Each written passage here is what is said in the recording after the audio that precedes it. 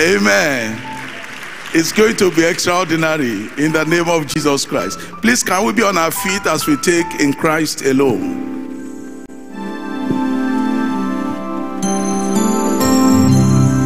Yeah. Please, let's open our program to page 21. Page 21.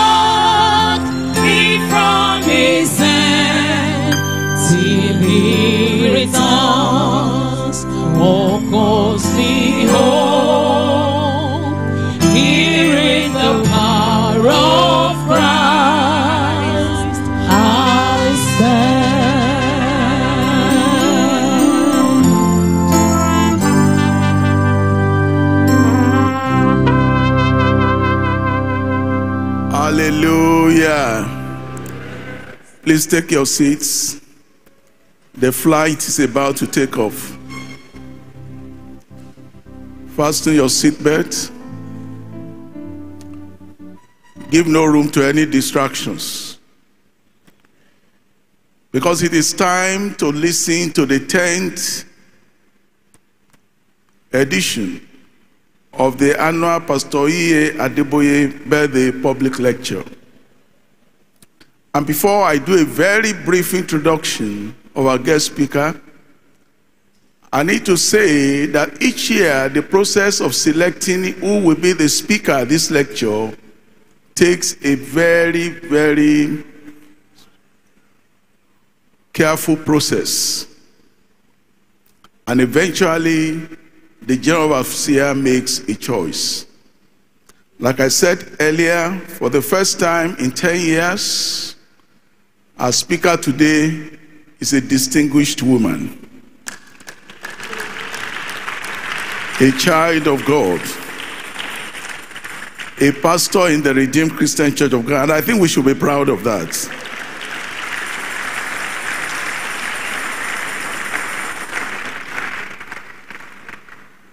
Dr. Obi Ezekwesili, like I said, is a child of God and a pastor in the Redeemed Christian Church of God. She is a model to many young and young adults and a pride to many adults. She is the president of Human Capital Africa and senior economic advisor at Africa Economic Development Policy Initiative. Um, before I go on, please, from on page 22 to page 24, you'll find something that we have put together there as our profile. And that's just a bit. And what I'm going to tell you is also a bit of the bit. Hallelujah. Hallelujah. She is the founder and chairperson of the School of Politics, Policy and Governance, established by the Fix Politics Initiative, which she also co-chairs. Dr. Obi is a former vice president of the World Bank African region. She was a minister of education and also a minister of mineral resources in the Federal Republic of Nigeria. Please, can we give the Lord a round of applause?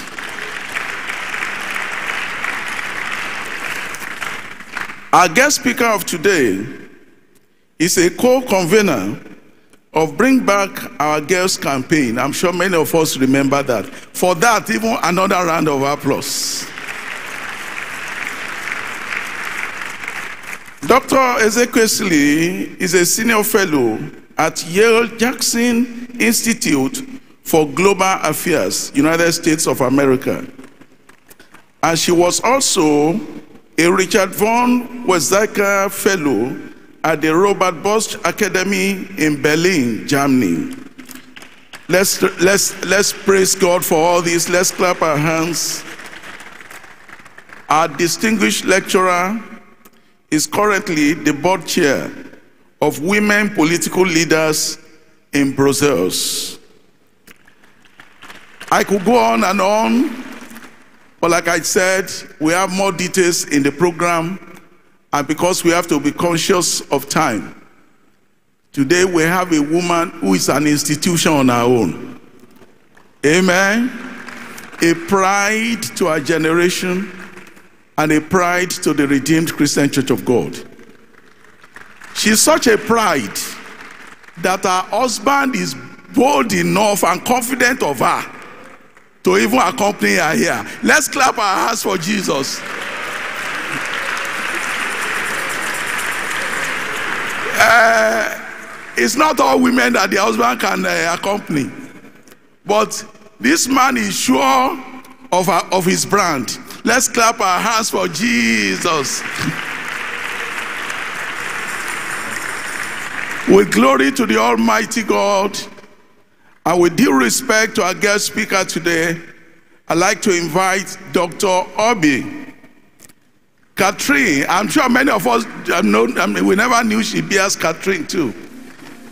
Dr. Obi, Catherine Ezekwesili the guest lecturer at the 10th Pastor E.A. Adeboye annual birthday lecture. Generation shall praise your name. Lord, our generation shall praise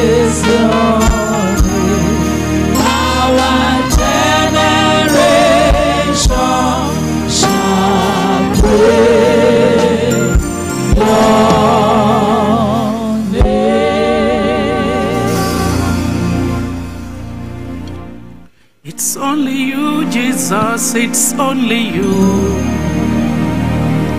It's only you, Jesus. It's only you. I depend on you. I depend on you, Jesus. I depend on you.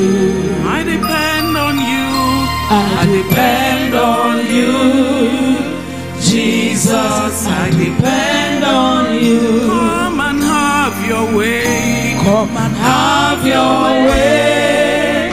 Jesus, come and have your way. Come and have your way. Come and have your way. Jesus, come and have your way. Be thou glorified. Be thou glorified.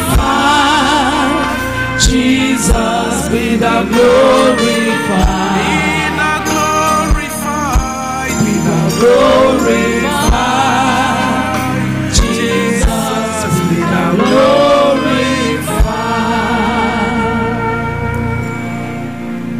Lord and my God, that's really all I have to say. That you be glorified, that you will help me to speak the word of life, the word of truth. You would help me, Lord, to be your own oracle. Let not my own word be in anything that I say. Let it be all about you in everything that we will do here today. Just be exalted, be glorified. If you can use anything, Lord, you can use me. So I completely make myself available that your name be forever exalted. In Jesus' almighty name, amen. Hi, hello everyone. Such a pleasure to be here. And uh, I want to start by saying a big thank you to our daddy, Daddy E.A. Adeboye, after whom this lecture is uh, inaugurated, and uh, our mom, Mommy Adeboye, for being such an incredible mom to every one of us. I want to thank the chair of the occasion. I want to bless the name of the Lord for all of our uh, very top leadership cadre of uh, the Redeemed Christian Church of God. And uh, I say hello to the discussants, Professor Dele Balogun, uh, the special assistant to Daddy Adeboye on administration, and my dear sister, Madam Professor. I should have done the business of taking my, um, my program with me. I do want to say a big thank you to all our fathers, all our mothers who are here, and also to the, the person whose idea this was, uh, uh, Pastor Jide. I, we, you know, the Lord bless you mightily for your for for for the initiative you took to honor Daddy while he's here with us. Thank you so much. While he's here with us, what an incredible honor. I mean, if this was not done, it should have been done. So that's definitely something we should acknowledge God for in the life of our pastor. Um, because, you know, we often assume that people know, oh, they, they should know. But sometimes people know, but they have no courage to do. So we bless God for the courage that spurred you on to do what uh, has become a, an annual event, a very prestigious platform. And I want to really thank the organizers, every one of you from Pastor Obasa to Pastor Shola Balogun to Pastor Nathaniel and so many others that, uh, you know, put this together and uh, the joy of being able to join uh, today's event as one who would lead the conversation because it's really a conversation. And I've been asked to speak uh, today. And when I got this, I said to my husband, Oh, dear Lord, you got to pray for me more. you, you have to pray for me more because I need that prayer to cover me. It's okay to laugh now. Eh? I'm not that serious. So I want my husband to, to, to, to continue to fire his prayer from where he is from me because I, I've got to get it right. It takes, it takes collaboration to get it right. Um, so I want to thank um, every one of you, the distinguished audience at today's event. I start by saying that that the Adeboye is a person, an individual. As a matter of fact, he's become an institution in many ways um, around the matter of academics who buck the trend and understand that even academia is subject to the name of our Lord Jesus Christ. And he's one who, his distinguished career in the academia stands the test of time and scrutiny. And yet, one who has given an unwavering dedication to the development of God's kingdom, as well as the development of our country and continent and the rest of the world. I, I speak from a place of knowledge that I've gathered over several decades of our father daughter relationship, during which time he would variously act as a, a, prophet Elijah, although daddy says he is not a prophet, but you know, he acts as a prophet Elijah, or he acts as a prophet Elisha, or he's a, a, a, a, a, Nathan, a, a Nathan to kings. It's been such a delight to see daddy acting in these different characterizations of what it takes to be a spiritual leader in nation building. And he's always done this according as how the, the Lord directs him for the season. I was in fact a daily witness to several years of his uh, engagement with my then boss, President Olusegun Obasanjo, how he was selfless. Daddy is not one of those um, uh, people who want to benefit from anything. No, not daddy. A man of honor and integrity. I mean, it's not enough to say you're a Christian um, because being, saying you're a Christian is not enough. Uh, after all, we have Christians who, on the matter of integrity and dignity and values, would say they have outsourced it to the Holy Spirit. It is when the Holy Spirit helps them that they can show integrity, not daddy. Daddy is consistently a man of honor and integrity. And I value him so much for that, you know. So, Daddy, in that period that um, I was in government, when he would visit with President Obasanjo, because for President Obasanjo, I was also like his daughter. And so, Daddy would, in all the ranges of what it takes to speak truth to power, that was what our daddy did. You should all be proud of him, even as I am proud of him. Daddy has continued from even then until now uh, to be a, a person uh, who engages himself on the matter of nation building from an entirely spiritual perspective, not, not politics for daddy. He's not partisan. No matter what anybody may say, I know that of him. He's not partisan. So he's engaged in matter of nation building from the perspective of his own accountability to his Almighty God. Our Almighty God that he introduces to us as our Father. And he does this because he's completely sold out to his time in eternity. Some of his most powerful contributions in framing public discourse on how a country can achieve its manifest destiny have inspired us, his children, far and wide. When Daddy speaks the word of Scripture, which itself states that it is the Spirit of God that gives illumination, because the Word of God, through His uh, uh, messenger, can only be discerned by the Spirit, it immediately decides the audience.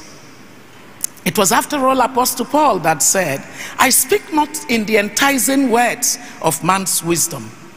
Each one of us who comes to God would already know and receive a tailor made message on the basis of which they stand in Christ. In my own case, I had to uh, be fully persuaded as to why God was God in certain ways.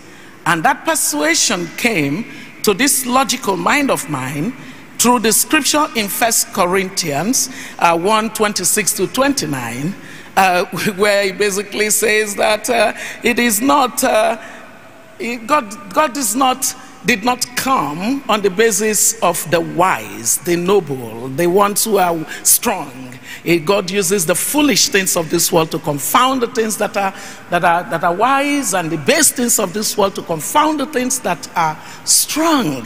And when God says in that scripture further on that the foolishness of God is wiser than man I immediately knew that it doesn't matter your academic distinction, you have no basis for even having a conversation with God where you're asking Him why. I thought a really good Christian in the Redeemed Christian Church of God will agree with me that we cannot ask God why. And so, for you to see your calling, you, you, you, you, you, you somehow have to understand that it is about you and the vision and mission of God for your life.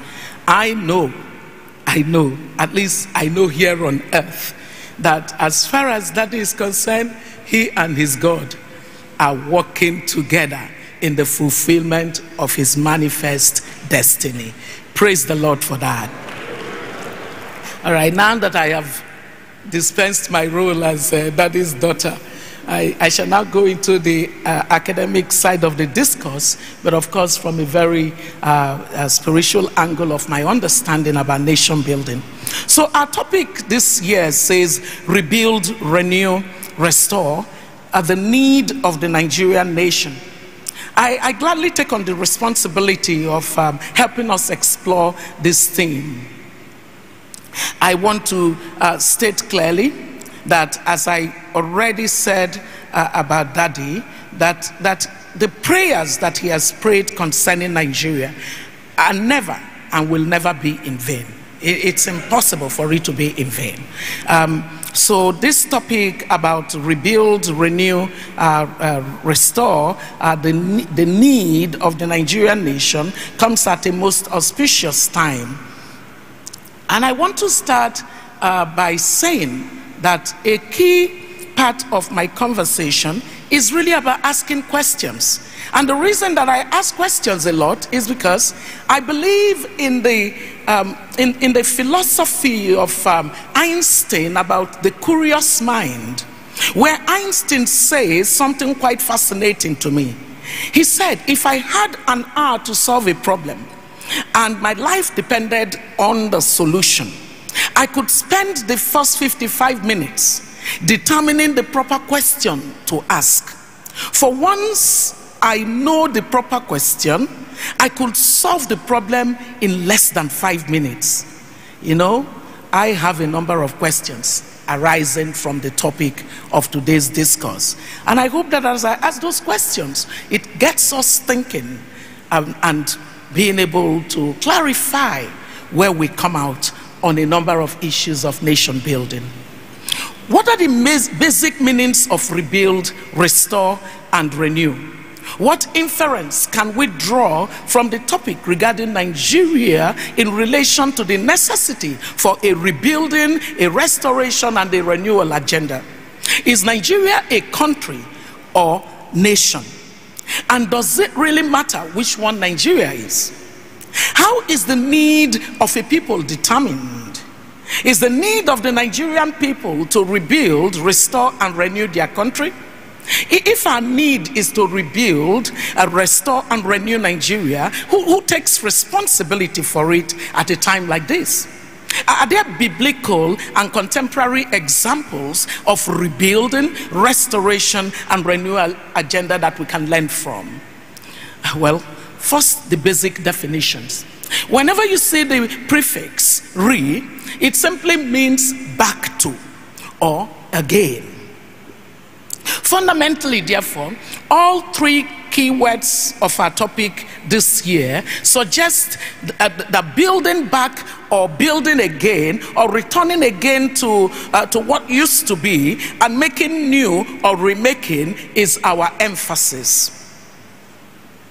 When does it mean, what does it mean to rebuild, to restore, or renew in relation to Nigeria? Uh, to rebuild is to build something again that has been damaged or destroyed. It implies a return to what used to be before a damage occurred. It means to repair or, or renew a thing to its original state. Hence, to rebuild Nigeria is to return it to a certain satisfactory state that once existed before it fell into disrepair or disarray or disorder. To restore Nigeria, meanwhile, means to try to return it to the good situation in which it was before an unpleasant event happened. To restore is to put or bring back into existence or use. To bring back or to put back into a former state or, or if, uh, an original state. To restore Nigeria is to choose whatever once, uh, once existed but is now gone and to bring it back. And to renew Nigeria is to resume an activity after an interruption or to increase the life or replace something that has gone old. To begin doing something again or with increased strength to renew Nigeria is to make a thing and give it a fresh impetus or extension of life. So the question is which of these prefixed actions, rebuild, restore, and renew, or all of them together, would strike us as being potently transformative enough to take Nigeria to an expected end. And what really are the end games of the rebuilding, restoring, and renewing actions? Are they ends in themselves? In other words, they, you know, renew, rebuild, re, uh, restore, renew. They are all verbs. So they are action words. So are they in of themselves ends? Oh, we're rebuilding, we're, we're restoring, we're renewing. Is that an end? Is it an intermediate goal that has an ultimate end? Can the people of Nigeria achieve a consensus state of affairs by which the country functions well for everyone through these triple R's agenda? As one who believes that Nigeria has consistently and considerably battered below its possibilities, I humbly request for the understanding and the indulgence of the framers of this topic to immediately posit that any action which returns our Nigeria to a previous state in its checkered history underserves the need of the people of Nigeria in our 21st century world.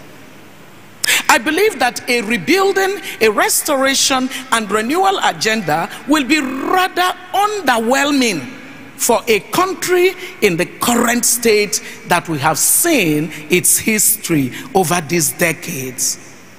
This country has passed the Rubicon of destabilization and is now closer in interpretation amongst nations to a failed country than a fragile country.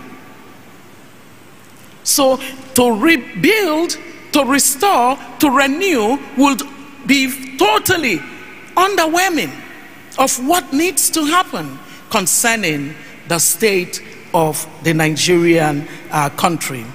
In situating the performance of Nigeria very early on and clearly, I often like to do comparisons because in the world of development, it's, it's often important that countries don't just rest on their laurels and say, We are doing well, thank you.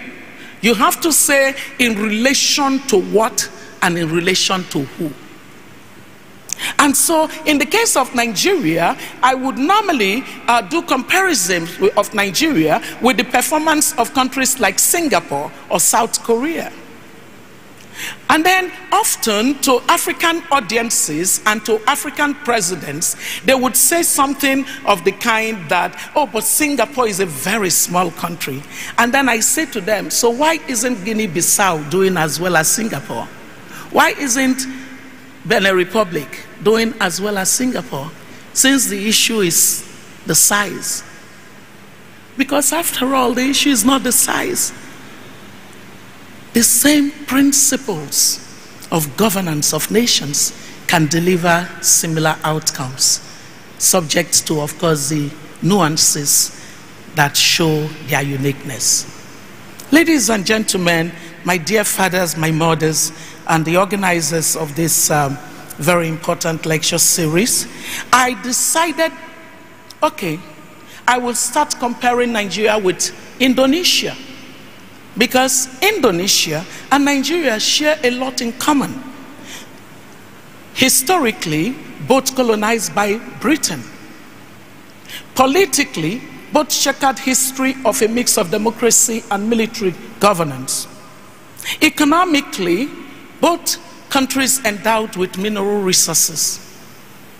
Religiously, both diverse countries with Muslim, significant Muslim population, and so many other features. So, I want to take a walk with you into what Singapore, uh, what Indonesia and Nigeria looks like in terms of telling you what living in Nigeria or living in, or in Indonesia, you can see Singapore is my favorite country. I keep, I keep trying to mention it. So I take a walk with you now. And I tell you, the population of Indonesia is 275 million, and Nigeria's population is 218 million. And I say to you that you will have to make 57% less money in Nigeria if you should relocate to Nigeria from Indonesia. The reason is that Indonesia's GDP per capita is $5,509, while that of Nigeria is $2,207 as of 2020. I say to you that you will have to uh, be 4.3 times more likely to live in poverty should you move from Indonesia to Nigeria. the reason is that poverty level in Indonesia is 9.4%. In Nigeria, however, it is 40.1% as of 2000. Why are you laughing? You don't want to relocate to Nigeria.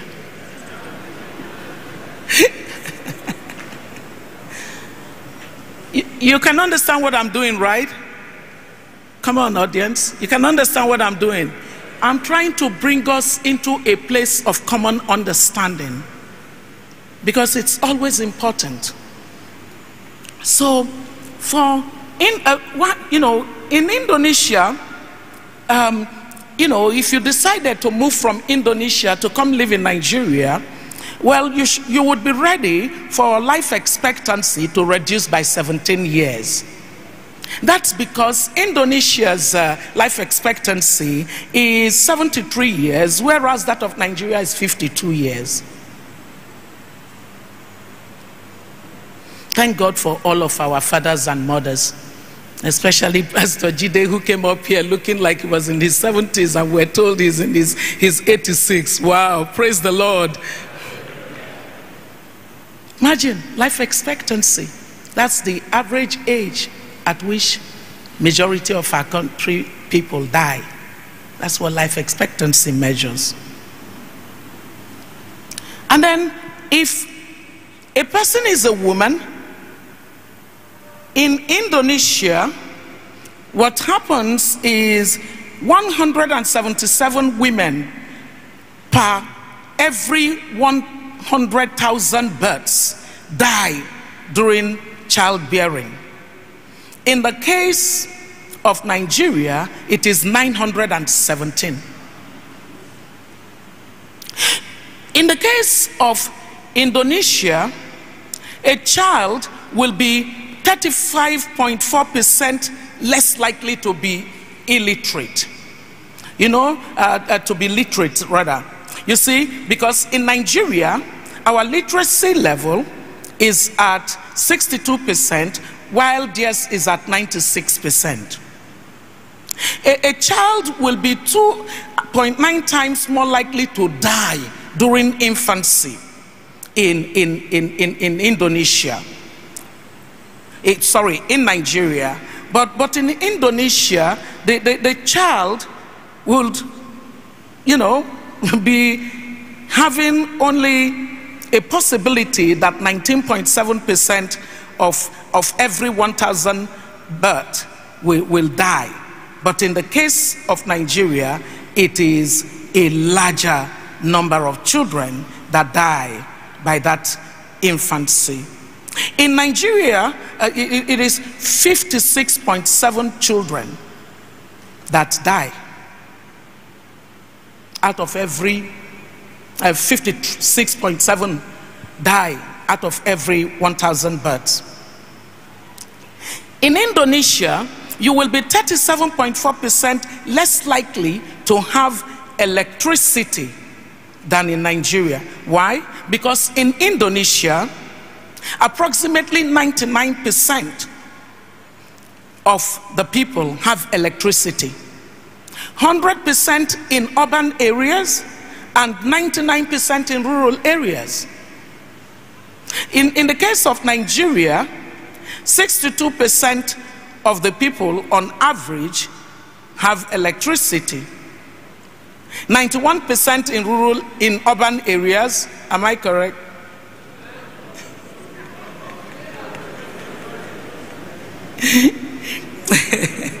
I know people always have something to say about uh, power sector. and, and, and in rural area uh, in Nigeria, just about 30%. Mark you, in their rural area, 99%. It matters considerably for economic performance of countries. Ladies and gentlemen, brothers and sisters, you will be three and, and one, uh, 3.1 times uh, more likely to live before the poverty line in Nigeria compared to what happens in Indonesia. It is just 9.4%. I think I already said that. So in Nigeria, you know, you see that life is considerably harder compared to what the Indonesian person is, is, uh, is, is faced with. To that extent, therefore, when our topics say what Nigeria needs is to rebuild, to restore, and to renew, you can now understand why it would be inadequate. Nigeria needs to do much more than that. The circumstances of Nigeria would require that we don't in any way imagine that a country that has this kind of stark data, side by side, all the possibilities that it has to be a great nation, is doing well. It is just that we missed a few steps somewhere and we just need to go and correct those few steps. It is not so. The God that we serve does not accept mediocrity. Am I correct? Our daddy does not accept mediocrity either. Because I know that as our coach, he's constantly pushing us to do much more. We must scrutinize our present quest, lest we allow ourselves the luxury of a rose tinted retrospective of history that can harm and hurt our chances of redeeming the time that we have wasted in mediocrity over these de- decades of our, of, our, of our independence. It is only by confronting uncomfortable truths that we can do all that is necessary to achieve more, to be more, and to do that faster. Ladies and gentlemen, I make the strong case for values, for taking responsibility, for effective leadership recruitment, for the for the purpose of the right quality of public decisions, for structural accuracy that delivers governance effectively, and finally for constitutional standards. On the basis of all these factors, I take, the firm, I take the firm position that what Nigeria needs is to build. We haven't even done anything that we want to begin to rebuild.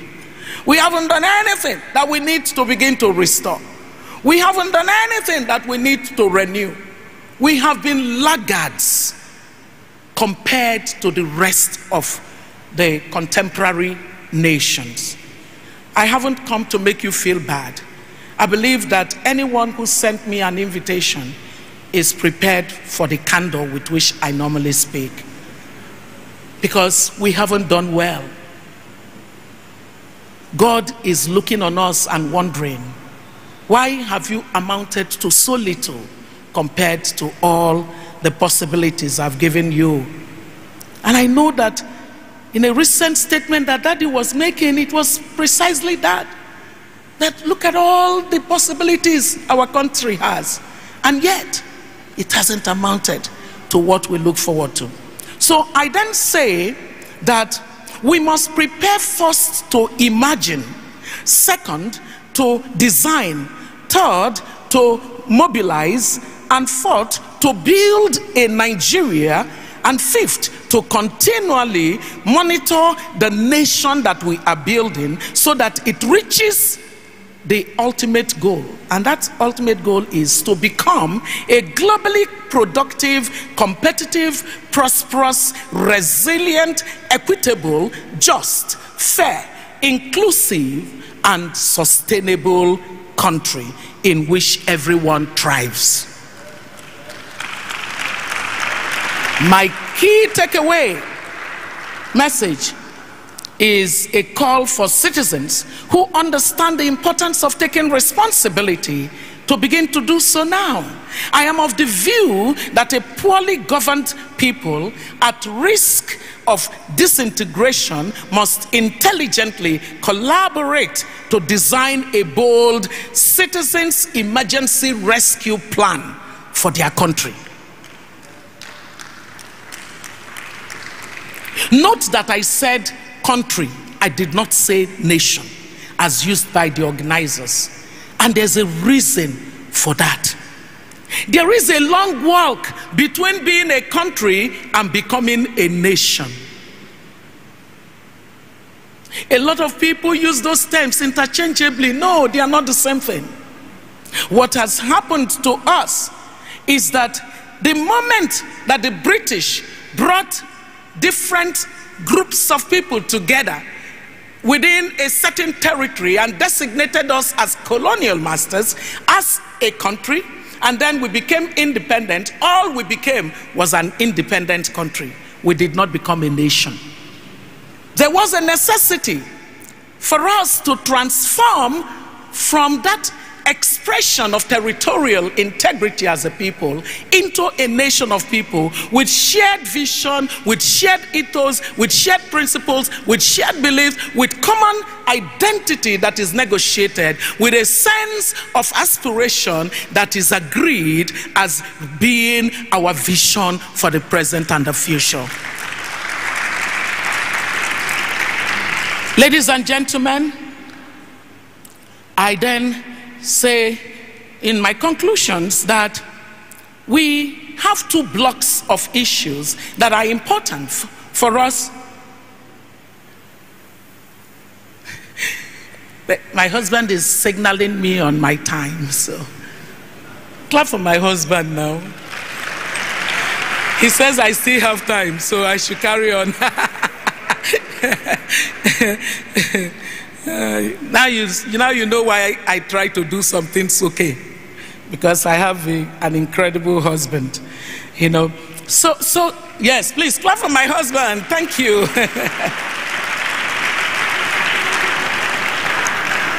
so in my conclusions, I then I then talk about you know this this gap between country and nation as a major gap that circumscribed us into a people that have not been able to define common aspirations, to agree a unified vision eh, behind which we all rally, a people without shared values, a people who are struggling to actually be a people. And I say that any such plan to rescue us so that we can get back into the original kind of foundation that God wanted us to have for ourselves would include working on the matter of the people. On the people, we need a set of shared values, we need a rallying vision, we need agreed common identity which everyone will respect, everyone would value, and everyone would defend. And I said we need a public leadership recruitment system for high quality leadership decisions. And then the second building blocks, I say these are the structures. And here I say that we need a deep restructuring arrangement to agree and design the most appropriate model of a federal system that matches structure with function for the most effective delivery of mandates.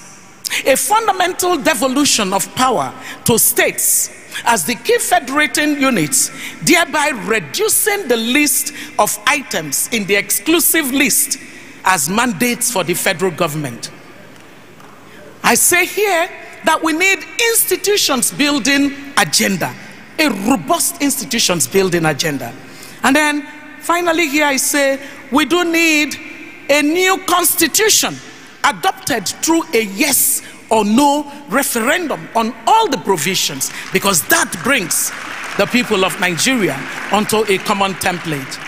I even then go further and say we need a transparent and credible electoral system that deepens our democracy, efficiently conducting election so that it regulates and penalizes poor public leadership that is delivered by politicians today without any consequence.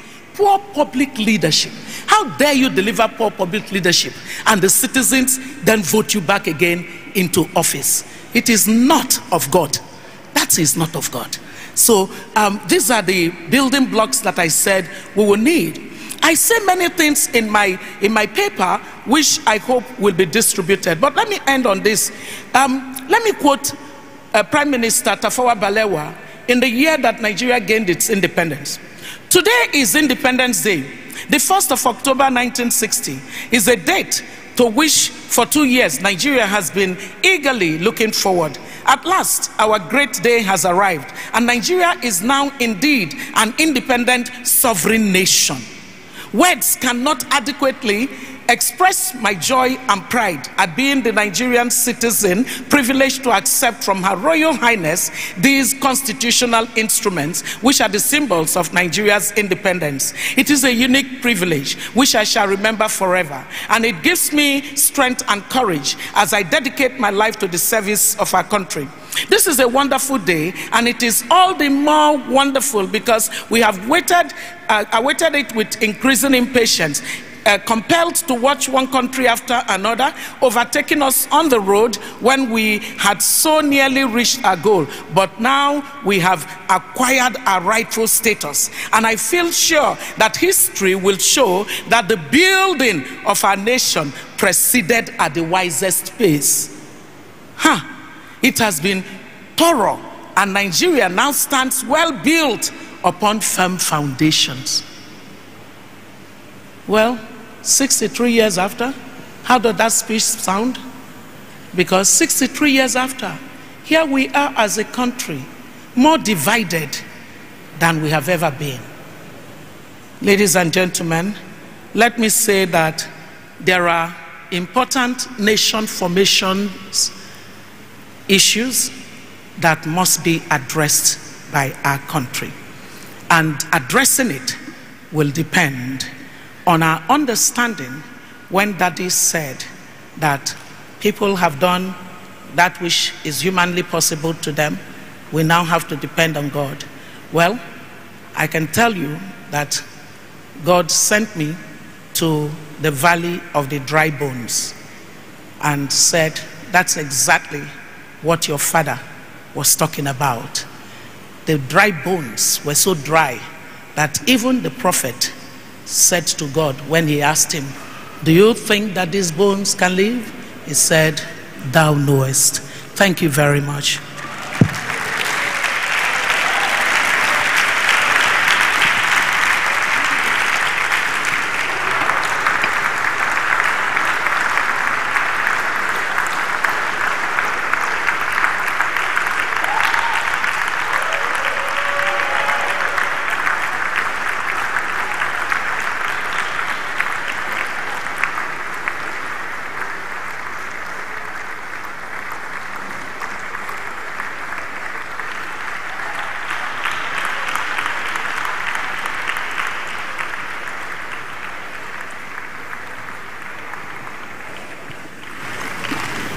Another round of applause, please.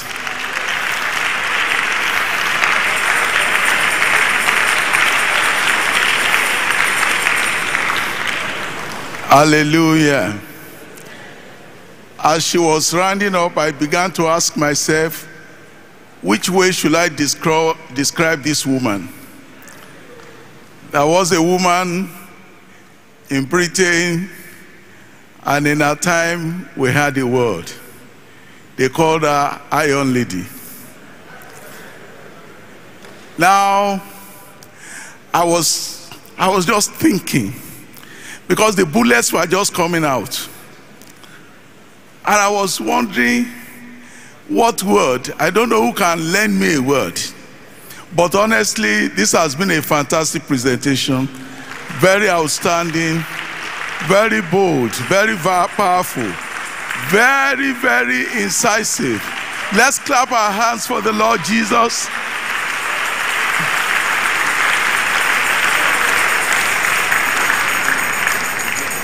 The elders have a saying. They say, if your daughter is good, say it. For us in the Redeemed Christian Church, we are blessed. And we are proud of you, man. Let's clap our hands for the Lord Jesus.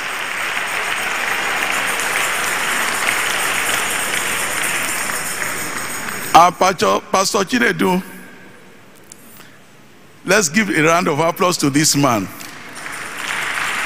The powerhouse. The signal officer. Let's celebrate Jesus.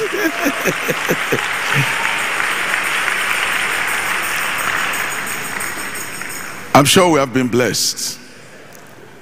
Now, she will still be around briefly in case you have a question or a comment to make on our presentation. But before then, I'd like to acknowledge the presence in the house of another young man, the national overseer of the Redeemed Christian Church of God. Young man, Pastor Sunday Edward Akande.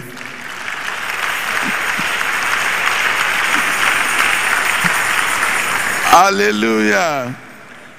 We are honored by your presence, sir. Now, shortly, we'll ask him to please step forward and say one or two things. But before then, I'd like to introduce one more time the distinguished discussants that we have for today.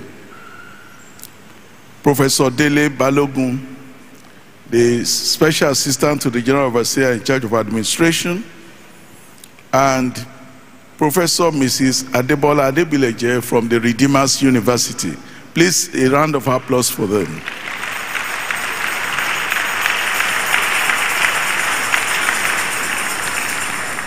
And so that we can take benefit of the very powerful presentation and flow in the spirit in which it was delivered, I'd like to humbly invite our beloved Professor Mrs. Adebola Adebileje to say a few things and make our input into this discussion.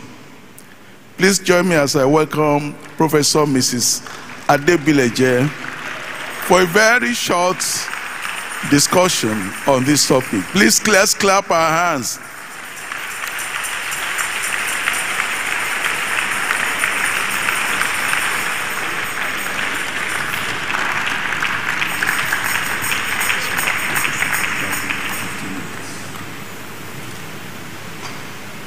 Praise the Lord. Praise the living Jesus. I want to appreciate my daddies and mommies in the house. And um, I want to appreciate my being here. I want to thank the organizers for the privilege given me to be here. I want to say I'm extremely blessed for the lecture that has been delivered by the one and only Dr. Obi Ezekwesili. May God continue to bless you. And may God continue to use you for the development of our nation. In Jesus' name. Brethren, when I saw the topic for today, I made up my mind, I prepared my mind that I will come here to listen to steps to be taken for rebuilding, renewing, and restoring our dear country, Nigeria. But alas, by the time our dear sister completed her lecture, I felt more in the wood than ever before. That means we are in a very, very, very, very bad problem. If you don't know that, know that today. But my consolation lies in the fact that when she started, she made a very, very significant reference to our dear daddy in the Lord, Daddy E.A. Adeboye, on whose account we are here today. For a man to be consistently sold to the things of God and as much as people are trying, no one has ever found any common fault in him. That, that means, as his children in the Redeemed Christian Church of God, there is still hope for Nigeria. No matter how scattered situations may seem, no matter how, you know, elusive hope may be, there is still hope. And I want to thank God for that. May God bless you, ma. You have said the truth, and what you said was the naked truth. If we came here just to listen to the lecture and go home the same way, then we are, we are not ready. We are not ready. When I was coming, I, I put on my radio, and all through from Ede till we, we got to camp, all the discuss, uh, I mean, discussions on radio was about the current situation in Nigeria. But I've come to discover that all the things our lecturer said here, none of us is yet ready to take that part. All we are best at doing in Nigeria is to condemn, criticize, and get angry. At who? At who do we get angry? That will not solve our problems. So, what I am taking home and what I feel we should also be taking home is that we need to sit, observe our environment, our situation, and then learn how to ask questions. If we do not ask questions, we will not move forward. If she did not ask questions, she wouldn't have been able to give us the stark differences between Indonesia and Nigeria. And it is very sad that a nation blessed with so much, with so much resources, with so much wise people, with so much uh, expectations, we are at this level. Brethren, if it is prayers we, we, we, we know how to, to, to do, we should sincerely start praying. Imagine what, what is happening today, and before Monday, things would have got worse. So, what will happen to our children? We need a supernatural force to arrest our situation. But why God is ready to do his part, what are we doing as Nigerians? What? What are we doing? How? How can we? How can we put in our own little quota to solve? He, she said it is underwhelming to even be saying we want to rebuild we want to uh, renew, we want to restore. So there is a foundational issue.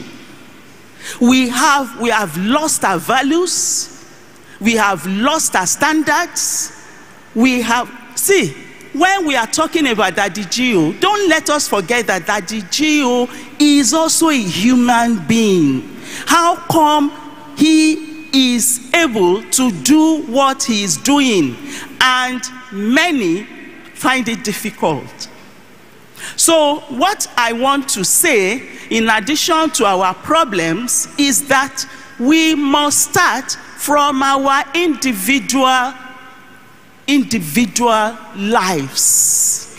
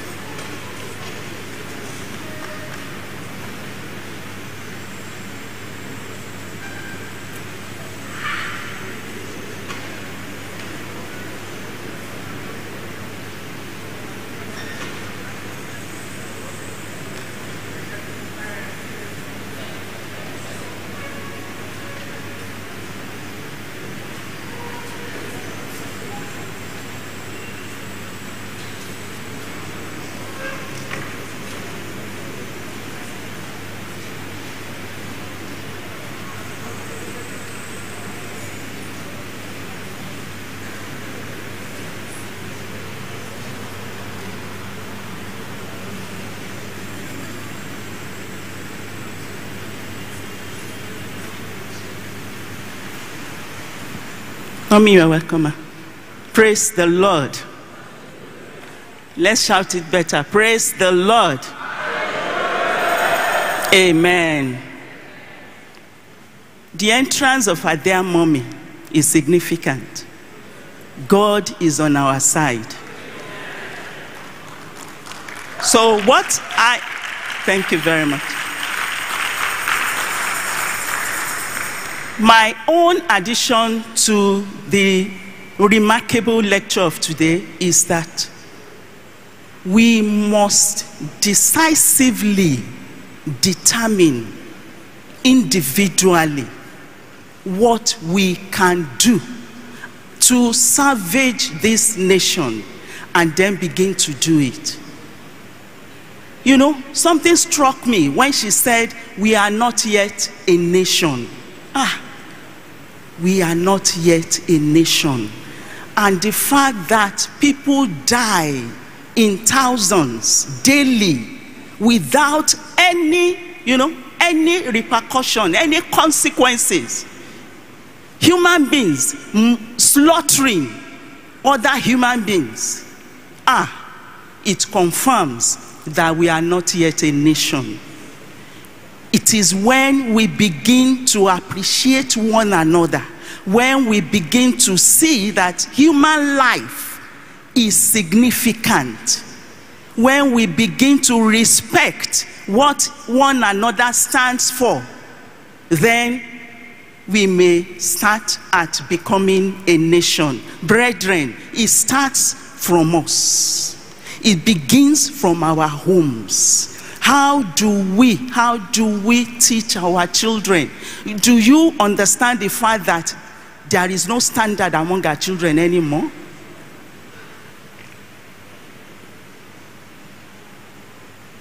They don't fear God anymore. They live dual lives. They live differently from what, how they live at home, and they live differently in school. Do you know that we are at a crossroad? Seriously?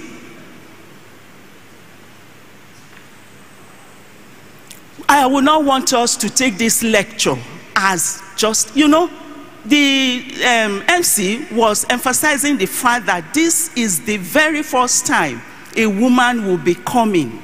And I was privileged to, you know, to review some of the past lectures into a compendium. So that took me, that, that gave me the opportunity to read through at least four in order for me to bring them together. So I, I can say I understand what each of them stands for. But today's lecture opens my eyes to the fact that as parents, as pastors, as youth leaders, we are not doing enough. We are not doing enough. We need to go back and begin to rebuild the foundation. If that term, rebuild, must mean anything to us. I pray that the Almighty God, who will never forsake us, will help us through in the name of Jesus. We need to start taking responsibility. She kept on saying that. We need to, you know, if you know that you are responsible for your actions, you will think twice before you take any action. These days in our country, Nigeria, anybody does anything because he or she knows that no one, no one will call him or her to order. If nobody will call you to order, have you forgotten God will one day call you to order?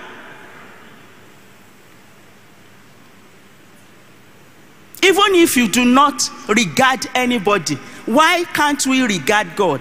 And our children must be taught that there is a God somewhere who we are going to report to.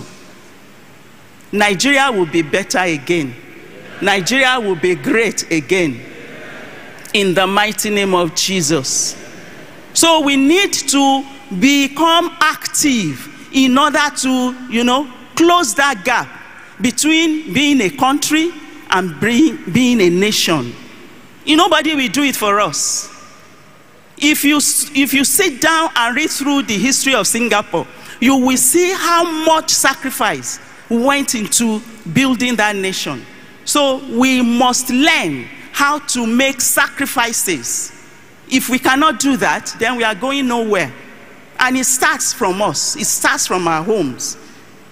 I keep repeating home because I know what I'm talking about.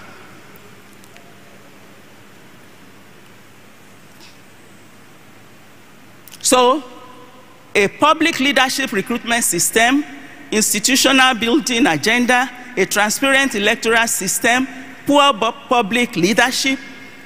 Do you know that we are the, we are the cause of our own problems? Because she said, if somebody became a leader and he did woefully and we still returned him, then whose fault is it?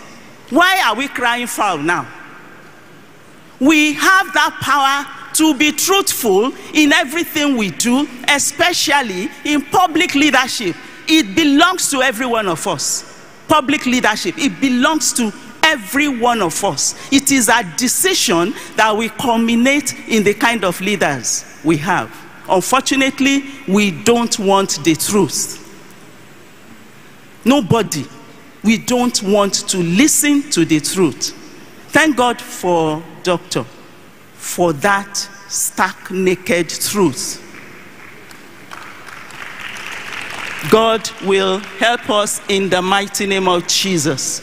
So, my take home personally is that I, I will re engineer. I'm a Nigerian. It's the truth. There is no way I'm running to. Even if I take up a citizenship in another nation, it can never be the same. And Nigeria will not be destroyed in my generation. I don't know about you, but I've made up my mind after this lecture, Nigeria will not be destroyed in my generation. We will continue to pray, and God, in His mercy, will help us through. Thank you, ma. God bless you.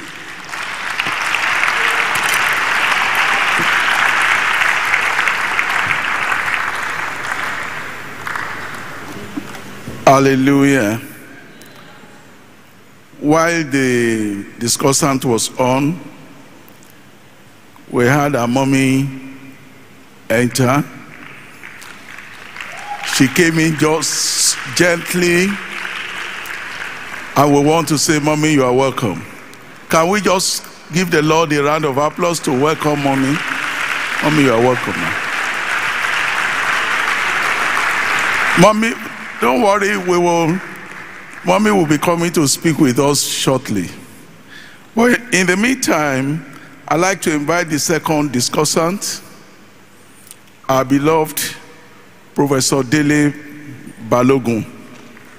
But before he takes the microphone, let me acknowledge the presence with us here today of Dr. Mrs. Stella Okoli the managing director, CEO of Emzor Pharmaceuticals. You are welcome, man. Please let's clap our hands for our discussant, Professor Dele Balogun. God bless you, sir. Yeah, please, sir. Please, that, please.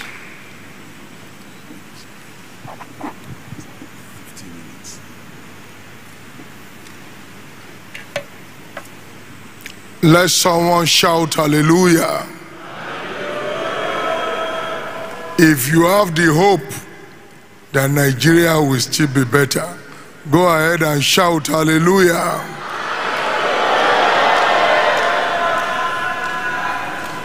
I like to stand on the established protocol. I want to sincerely appreciate the convener, the chairman of this occasion, and the planning committee of Pastor E.A. Adeboye annual public lecture. These people have organized these lectures for the past 10 years to honor our esteemed father in the Lord.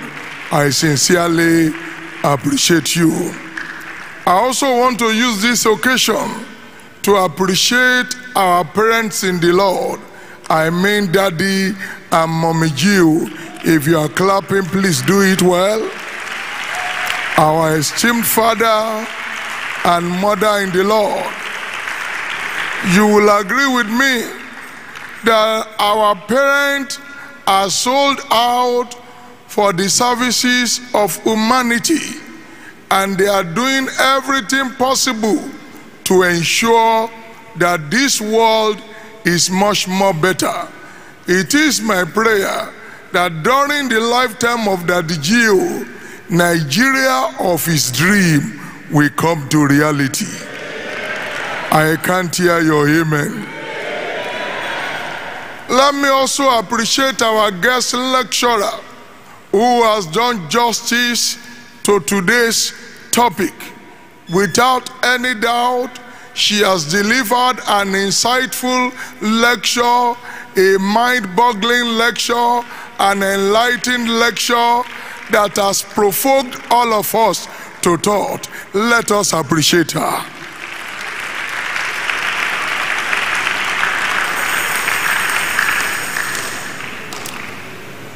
You will agree with me that the guest lecturer of today has done justice to the topic rebuild, restore, and renew the need for Nigerian nation. She started by employing what I call Socratic method. Socrates was an ancient philosopher who believes that when you are discussing something important, you have to start by raising questions.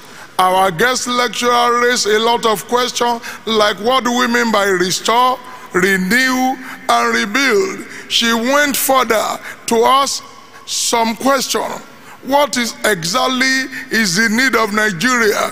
How do we determine the need of Nigeria? If we are able to uh, determine the need of Nigeria, uh, what are we going to do to ensure that we bring solution to all this need?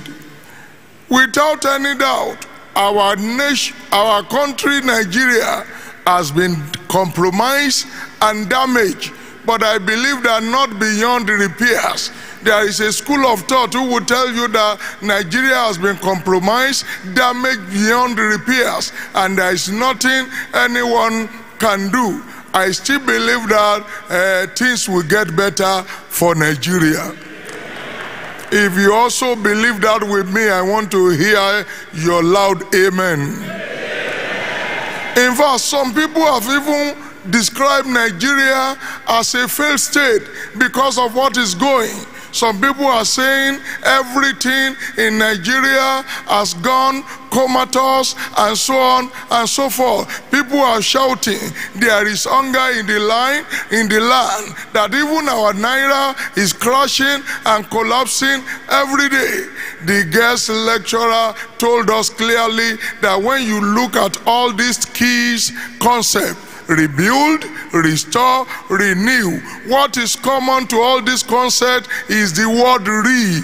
And in a layman's language, re simply means to return. When we are saying rebuild, we want to rebuild, we want to return to the kind of building that has been damaged. We want to do repairs. And when we say restore, we are trying to say we want to return to the good old days. And when we say renew, we are talking about impetus of life. She went further to compare Nigeria with Indonesia. And in a comparative analysis, she made us realize that there is no way you can compare Nigeria with Indonesia. Life in, in, in, in Indonesia is much more better than life in Nigeria. The level of poverty in Nigeria is higher than that of Indonesia. Infancy mortality rate is higher in Nigeria than that of Indonesia, and she was asking the question: If would you like to relocate to Nigeria and to uh, to enjoy some of these things? But the truth is that we are already here. Some of us can no longer relocate. There is no way we can japa. All we are going to do is to ensure that we remain and put us together to to rebuild Nigeria. Having said that, she mentioned some key points which I want to draw your attention to. She said one of the problems of Nigeria is the fact that Nigeria is full of mediocrity. There is no room for excellence people of God. If actually we want to solve the problem of Nigeria, it is high time we drove mediocrity away from our nation. There is the problem we are facing today is as a result of mediocrity at all levels. I believe that by inviting, imbibing the spirit of excellence, mediocrity will be forgotten in our nation, Nigeria. She told us that it is better that we describe Nigeria as being fragile rather than saying that Nigeria is a failed state. And I believe that Nigeria has not failed, it will not fail, even though it is fragile, but with the support of the law, the fragility of this nation will be strengthened. The first prime minister of Singapore, you know, she will also mention Singapore in her discussion, by the name Lee Kuan Yew, wrote a book from the third world to the first world. And in that book, he was trying to tell us that at, by 1969, Nigeria and Singapore, they were at par. But today, Singapore has, written, has risen to become the first world, while Nigeria is still wallowing in abject poverty and in a lot of problems. And in that book, there is a portion that he mentioned something touching. He said he knew that man wrote and said he knew that among the committee of nations that Nigeria would never make it. And he gave his reason. He said in those days when he as the prime minister would be entering or boarding the public plane to attend president meeting that Nigerian president or Nigerian officer shut up plane that Nigeria is a country of wastages. I pray that the grace to eliminate wastages in our country, the Lord will give us in Jesus' name. Our guest lecturer told us that if we actually want to solve the problem of Nigeria, we have to do something about our value we have to redefine our value. We must ensure that our value is godly value. Unless we return to godly value, there is no way Nigeria can move forward. She also mentioned that if we are serious about solving the problem of Nigeria, we must be ready to get what she calls constitutional standard. We must have public, we must have public leadership standard and we must put right policy in place. And towards the end, she said, what we need to do is to imagine. That is to say, we have to start with our thinking system. And that is why I want to beckon on everyone here today. Let's be, begin to think right about Nigeria. It will still be well. Think well about this nation. He said we should start with right imagination. After right imagination, we must design. After the design, we must put right government in place. After putting it in place, we have to mo monitor and ensure that it works. The guest lecturer ended by saying the summary for this concept rebuild, renew, and restore to my own mind is what she called restructuring. Restructuring. That the GO that we are celebrating today, our esteemed father in the Lord, is an apostle of restructuring. He has said it several times. If Nigeria is to make it, if Nigeria is to stand tall among the committee of nation, we have to take the issue of restructuring very well. My own input is to tell you that we can summarize the three concepts as restructuring. There is need for us to restructure. Let me end by saying, I want to end with a Platonic dictum. Until Nigeria is handed over into the hands of God and will return to the existing structure as formulated by Macpherson Constitution of 1951, remodified by Littleton Constitution of 1954 that is based on federation through federalism where each federation will develop their own constituency, their own territory. I submit there can be no end to the problem of Nigeria. The key word is restructuring. Let us go back to true federalism and hand everything over to God. God bless you all.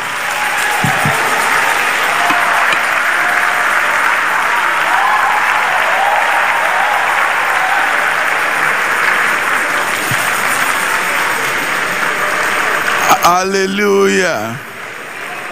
Thank you very much, Professor Dele Balogun. Hallelujah.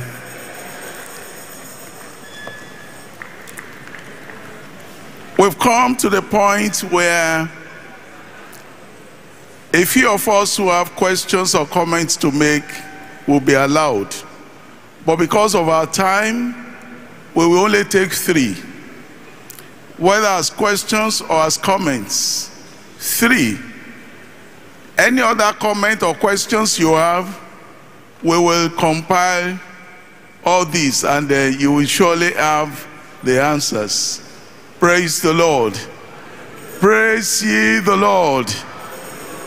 Well, I can see my intercontinental prayer coordinator raising up his hand. Please, sir, if you don't mind, please stand. Who else? I'm taking just three.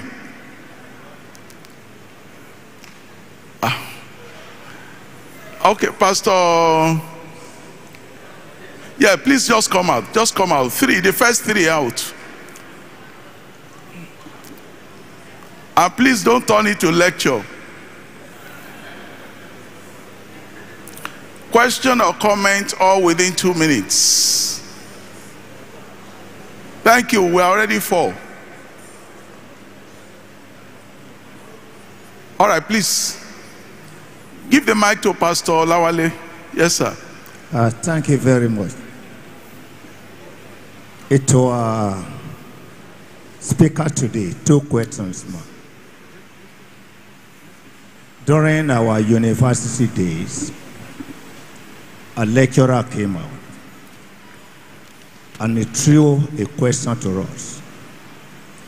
The problem in Nigeria, the cause, and how to cope with it. We all contributed academically.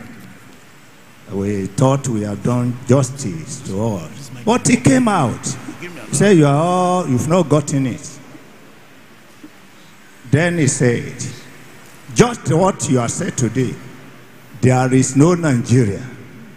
What we have is a, in different tribes. Then he confirmed, he said, I'm a Igbo man. And he says, man. If I say right now, all Nigerians are foolish. He said, we will all laugh. We are not foolish. Too. But let me say here, he said, all Igbos are foolish, or all Yorubas are foolish, or all Hausa are foolish. He said, I will not, my, my neck will not follow me home. He said, I will tell you, there's no Nigeria. Now, as we are living here today, how can we actually remove neutralize or uproot tribalism because that is the cankerworm that hitting us. That is now question number one. Number the second question is based on the fact of that lecturer.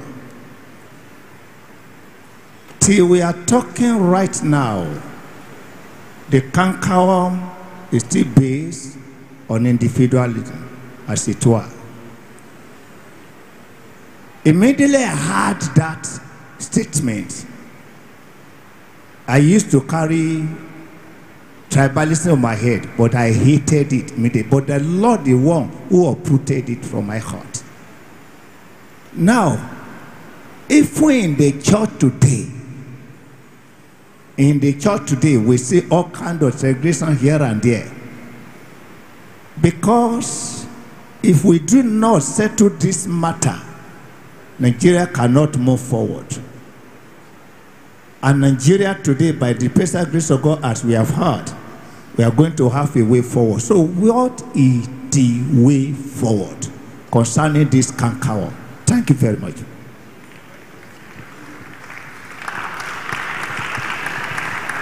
Thank you, Ma, for a good lecture. While you are delivering your lecture, you may mention that uh, even when we have a bad governor, people elected, that we keep on returning them. But many a time, people went back to the to vote with the consciousness that they are bringing good people to lead them.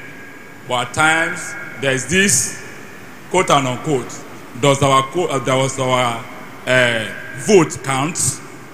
Because we need to look at that also. Not at every time, at all time, that uh, people are selling their vote. We have people that have conscience to bring in good leader. But the question remains: Does our vote count? Is it counted? So there is need for us to look at our electoral system. Thank you, ma'am. Thank you. Yes, the third person. Uh, thank you so much, ma. Uh, we always compare Nigeria to Singapore, Indonesia, and so forth. Why not West African countries? There are some West African countries that are better than Nigeria. Basic things there, light, prices of materials, they don't change for five years. There in Senegal, the president wanted to change the date of the election. The rules of they said no. The parliamentarians, they said no, we are not changing it. And they, they brought it back. So, not only the white nations, even these West Africans, then some years ago, you are also a politician. You know what it means to be a politician in Nigeria. You know what they did to you. Now, those who are there now, some of them are not good. We know, no matter what you do, they just they are just destroying the country. When are we going to have the right people? The Christians, those who are honest, those who are ready to serve the nations. When are we going to have them? When are the Christians going to rise up and support those who are ready? When are we going to have Christians standing up, pastors, you know, people who are born again, who are ready to serve the nation? Are we ready to support them? Are we ready to, I mean, to, to vote for them? Are we ready to sponsor them? Some of us who are Christians don't have enough money than, the, than these people. Are we ready to push somebody forward Thank and you. then use money to, to Thank push you, them in? Because we have to do something. Thank you, sir. Lord will help us. Amen. Let's give the Lord a round of applause. And please, Dr. Obi, before you respond, there's a question here. Please, as former Minister of Education, how can we, what is your advice for us on the education, on moving the education sector forward? Thank you, ma'am. Can we just pay attention to Please, you can respond from there if you so decide. Can I, can I or you prefer. All right, let's clap our hands for Jesus as she steps forward.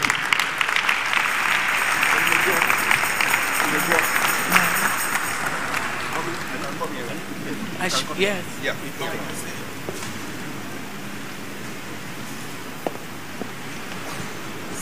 Well, thank you so very much. First, I really want to acknowledge the discussants. My goodness, especially Professor.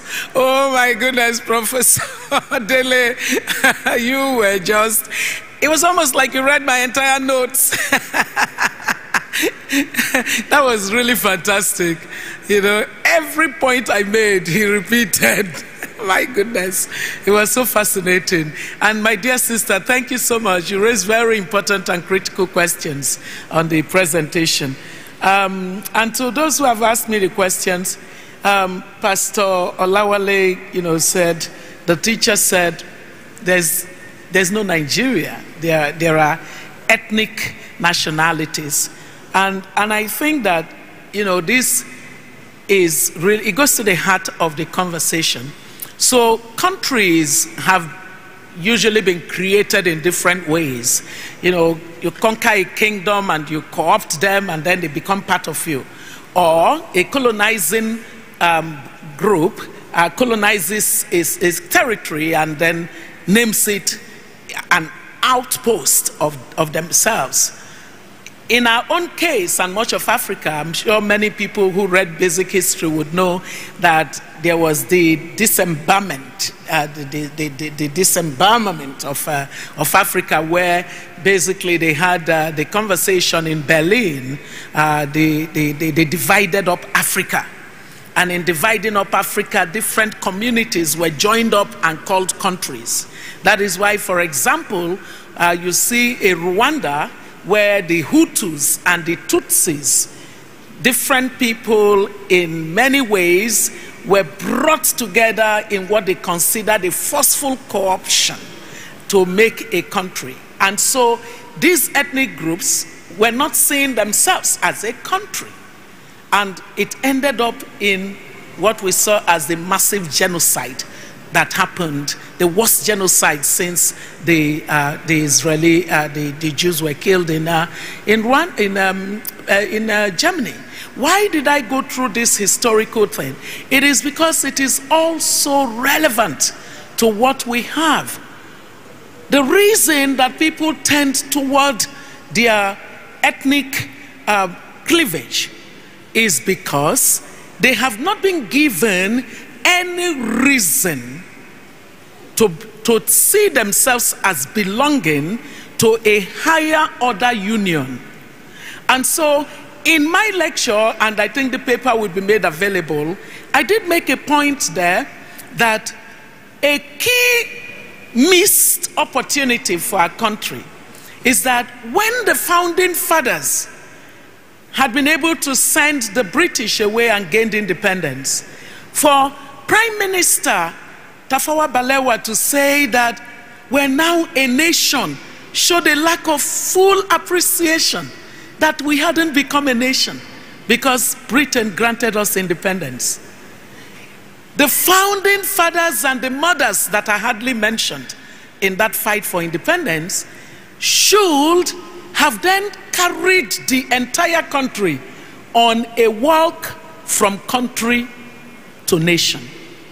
There's a walk involved in the journey from country to nation. We haven't still done that walk.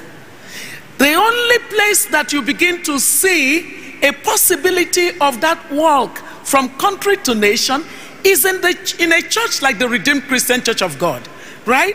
Because that is what it is supposed to be. But like Pastor Olawale said, there are even people in the church who still are caught in the trap of their ethnic ethnocentrism, as we call it. And that the saddest thing of it manifesting in the church is that, in fact, we should know better. In our own case, it shouldn't be moving from an artificial construct of a territory that became an independent country, but it is the fact that we know that there is only one blood by which we are the same the blood of Jesus. So, my husband normally says that you would not find a Yoruba person in heaven, you would not find an Igbo person in heaven, you would not find an Hausa person in heaven. Who would you find in heaven? The one who can, yeah. So, why are we then not being the nucleus for the transformation of Nigeria from country to nation? Because the country to nation formation happens by virtue of the inspiration that the leaders mobilize for the people and they give them something to look forward to. They say to them that we are better, we are greater by virtue of our unity in diversity. That was exactly what Lee Kuan Yew did. He was talking about Kuan Yew, people think that because Singapore is a small country, it is not as complex as Nigeria. Not so. Apparently, in Singapore, you have multi ethnic groups.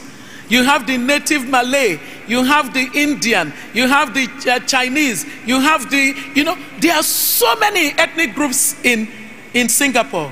In fact, there was my colleague at the World Bank. The father was the president when Lee Kuan Yew was the, um, the prime minister.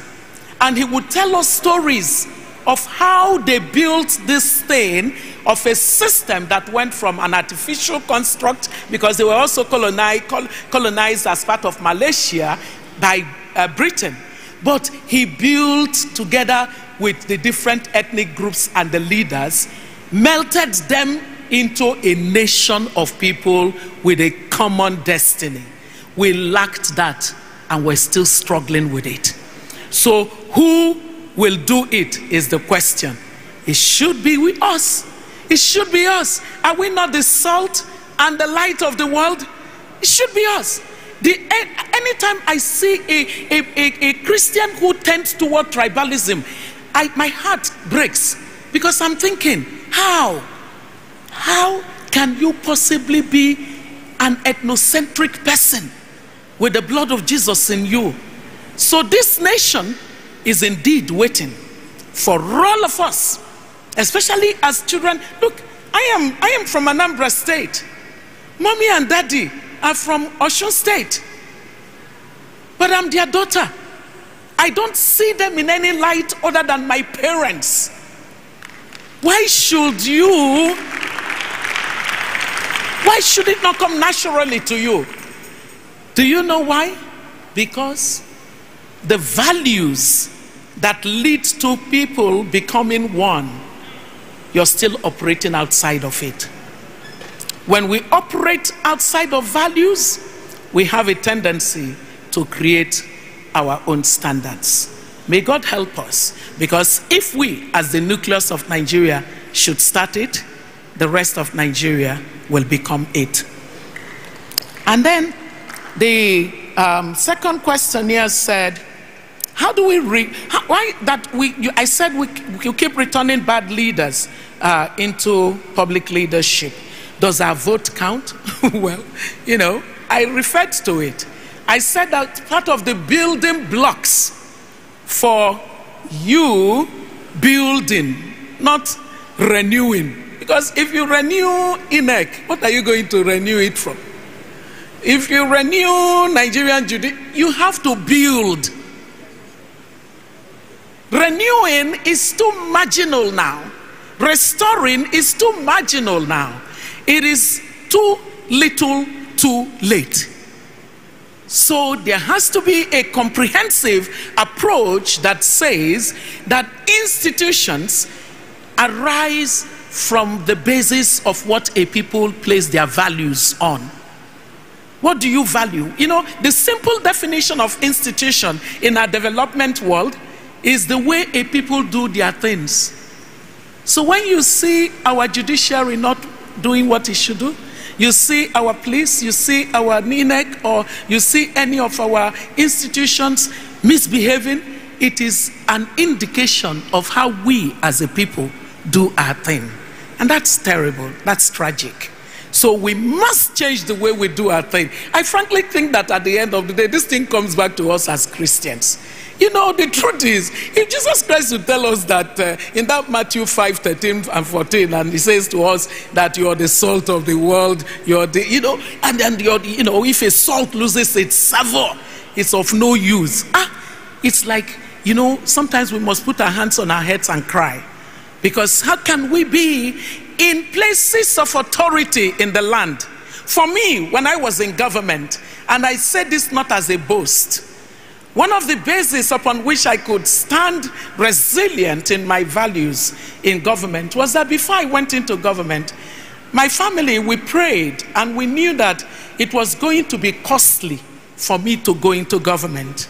Because I was going to go from, um, I, I had to take a 90% cut in my salary from Harvard University to working for the government of Nigeria. And you know what kind of adjustment that would mean? And one thing was clear we were not going to depend on anybody. Because I believe in the story of Abraham when he said to that king that said, Let us share the booty from the war. He said, Me, share booty from the war with you. So that when Abraham becomes rich, it will not be said that if it had not been for you, I would not have become rich. He said, God forbid, I do not take it. So that principle helped us. But even more is the principle where I said, Who in the Bible is the hero or heroine on whose values I can also stand? And the Lord pointed me to Nehemiah. He said that of all the governors of uh, uh, Jerusalem, he was the only governor who did not eat from the public treasury. So, as Christians, it is not enough for us to just say, I'm a Christian. You can't say, I'm a Christian. and we're going to office to. They will kill you there. Before you know it, you will be at the center of dividing corrupted meat. Or you would say, I don't eat it, but let me help you to divide it up. So we must build Christians who understand this concept of collaboration with God. God will do his own, but God looks on us to have values that we're not prepared to negotiate. Praise the Lord. And then, and so when we uh, uh, uh, talk about the electoral system, I think that there was a lot of agitation for improvement in it. And that led to including uh, technology in it. And I really want to give a shout out to all of you young ones that are in this hall today.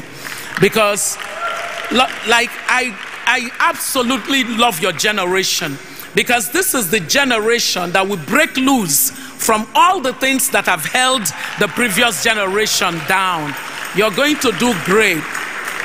So I would, what I would say to you is that it's an unfinished business to reform the electoral system, the political system. You must continue with the strong advocacy. Your voice is absolutely important. Thank God you have parents who, look, I mean, I can imagine how many times some people would have gone to daddy and mommy and said, Is she not your daughter? Tell her to stop talking. They just say, "Yeah, I'm, I'm probably, they'll probably say to the, to the person, eh, You better leave up here alone. Be- Why? Because they know that we come to the kingdom at a time like this with the things that we should be in society. So I am very, very, very, very grateful for you young ones because part of Africa's greatest problem was the fact that we allowed impunity. We allowed impunity. People would behave badly and we would say, Ah, you behave badly. Oh, yeah, take this money and behave worse.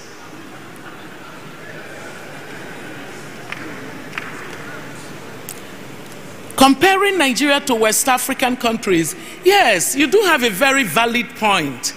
Um, the, the, you know, even the example you cited on Senegal is so appropriate. Senegal was one country in West Africa that did not, um, you know, have any military adventurism.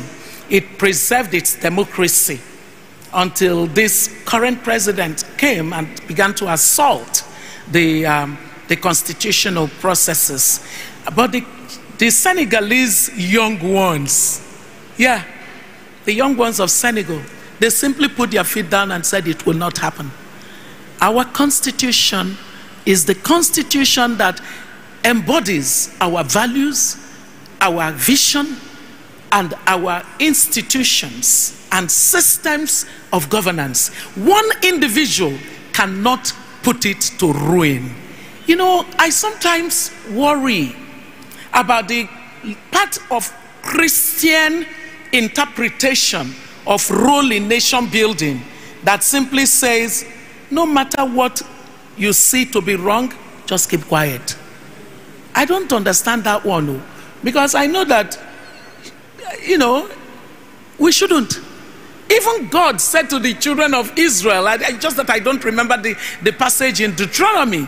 He said, Please don't allow the king to do so and so that is contrary. In other words, if the king goes worshiping idol, you all of you follow the king to go and worship idol? It shouldn't be.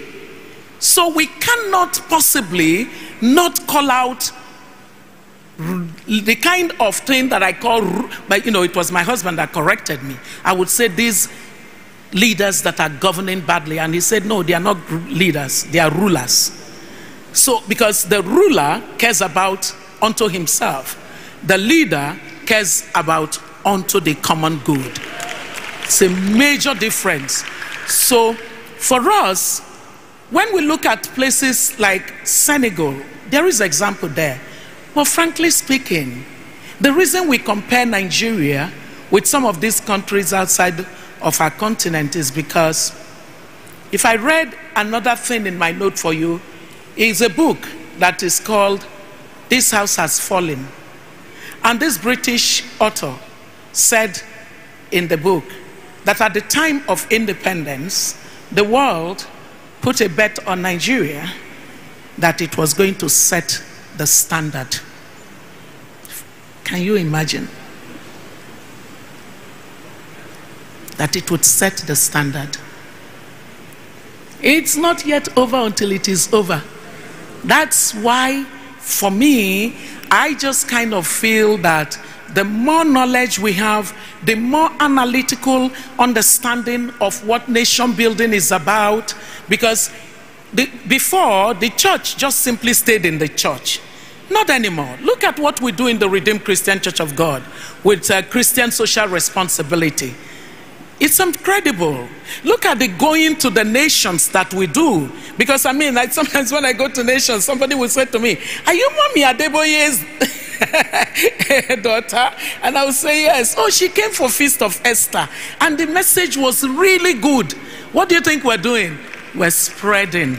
We're spreading into governance. That's what we're doing. We should not lose sight of that.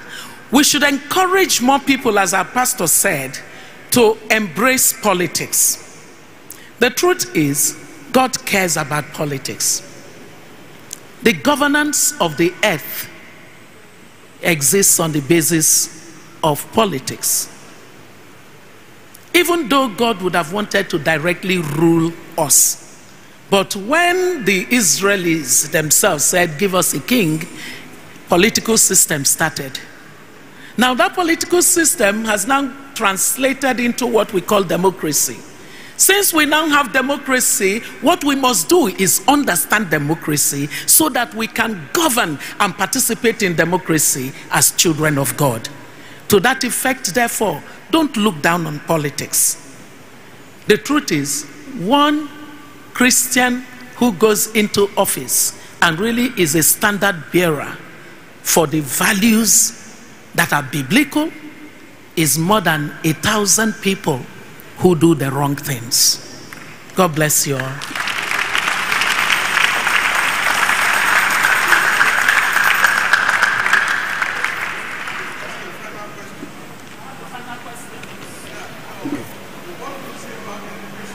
Ah, the education system, that's true. Oh, my pet, my pet issue. So, I, ah, I, you know, it's, uh, it's a hard one. When I became Minister of Education, I had been Minister of Solid Minerals. And um, I, I take a scientific approach. I'm evidence based in looking at problems. So we had to do a very strong analysis of what it takes to have a global standard mineral sector in any country. And when we understood what it took, I now said, let's look at what we have. By the time we compared what we had and what we should have in order to be a destination that would attract global capital, the difference was like the rest of the world was going to the North Pole and we were going to the South Pole with speed. In order to correct it, we then had to do the things like building blocks that would correct the sector. When we did that, dear mommy, 107 reform measures were necessary to be done. 107. Because President Obasanjo put so much pressure on me and said, in six months, I want you to reform everything. He didn't do that to others, though, but he did it to me. We then started working. By the time he was taking me out of solid minerals, we had already done 97 of those reform measures. Very tough things like geological survey of the entire country, like building the mining cadastral system, you know, so many important measures. When I got to education, I did a similar thing. You will understand why I'm telling this, the, the earlier story. We needed to do 406 reform measures in order to get the education sector working. And Baba had sent me to education 10 minutes before the uh, 10 months before the end of the administration. But we still put our effort into it. Brethren, at the time I resigned from government to head to Washington, D.C., we had done about 45 or either done or started implementing some 45% of the 400 and something reform measures.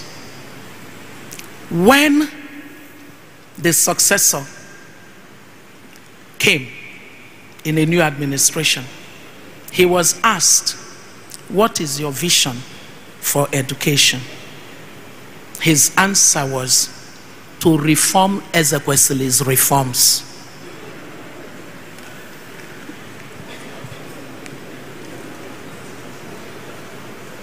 This is important because it ties back again to what we just said about politics.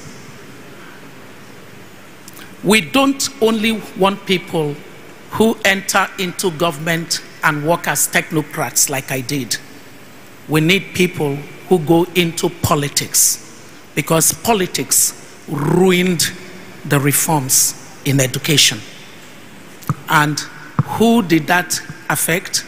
The children of the poor. Because the reforms were designed to take Nigeria. I was using Singapore as my country benchmark for where our education system needed to be. Some of the reforms that we did in education during my time, countries in Europe adopted them at the time I went to the World Bank. But in my own country, a successor said his business was to reform those reforms. The Lord will have mercy. Let's clap our hands for our wonderful guest lecturer, a daughter of Zion, a pride to the world. Amen. At this point, we would like to hear from our mother. A mother indeed. A true mother. Always there for us. I'd like to invite Pastor Carr for Basa, please.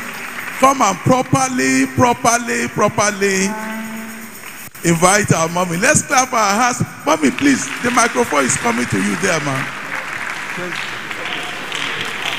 Please, shall we be on our feet? Let's celebrate this wonderful woman. Lord, as I come into your presence Amen. today. Before mommy reaches the platform, may I say to all of us that mommy has been playing significant roles since this lecture began 10 years ago. Mommy has been so fantastic. We have been receiving beautiful support from our mommy. Our beloved mommy has been so wonderful. Can we put our hands together for mommy GO? Mommy, we are grateful, ma. Lord, Thank you so much For all the support we have been receiving on this lecture. There's Thank you, something ma. special in Ẹ pẹ́ fún wa, ma. heart for you. Ẹ pẹ́ fún wa, ma. It's a song of praise for you, my Maker.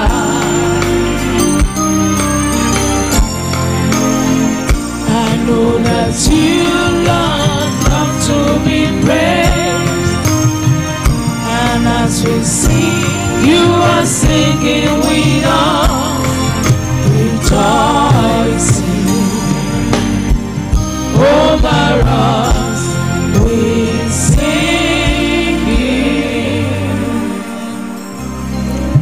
Thank you. Kindly be seated.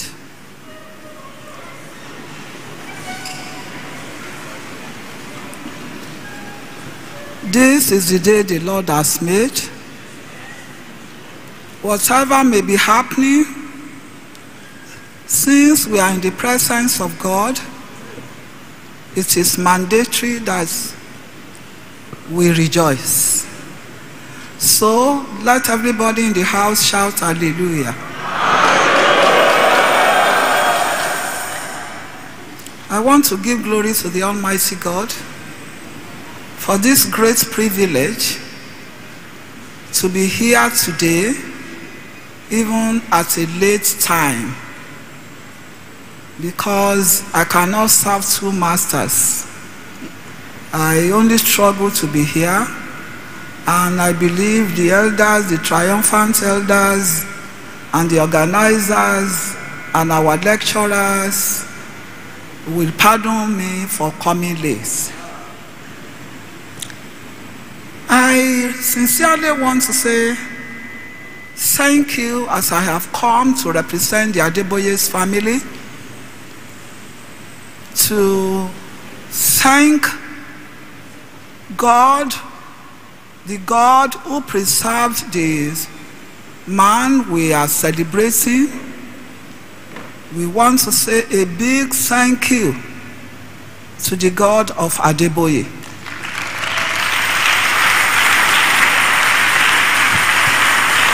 Who has planned it right from his mother's womb that he shall be celebrated in his life, in his lifetime. I want to say a big thank you to the triumphant elders, the planning committee for, who had been doing it for the past 10 years to organize this lecture in honor of the General Overseer of RCCG, Pastor. Adeboye. The Lord himself will celebrate all of you. He will beautify your lives. And in your own time, you will see greater things happening around you. And all the desires of your heart, God will grant you. In Jesus' mighty name. I also want to say thank you to our guest speaker of today, the only Dr. Mrs. Um, Oby. Only all other ones are fake.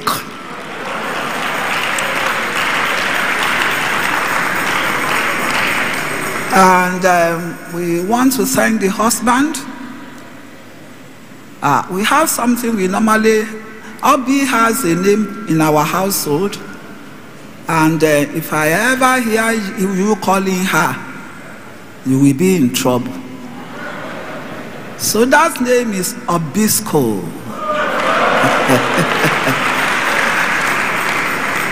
and um, you can see her bubbling and basking in the glory of the Almighty God.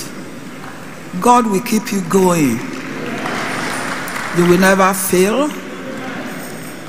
And the trust God has in you to put you where wherever you are showing your face to be his ambassador. That trust will never be ruined. Your mind will be the mind of Christ till the end of the day. And you fulfill your days in Jesus' name. We want to say thank you to Pastor Ezekwesili for praying for her and supporting her all the time. The Lord will support you, and your home will continually be a glorious home in Jesus' name.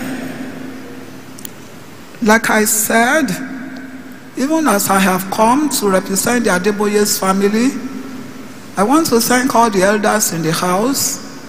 Either you are in the committee of the triumphant elders who are always preparing for the annual um, lecture or not. All our elders in the house will salute you.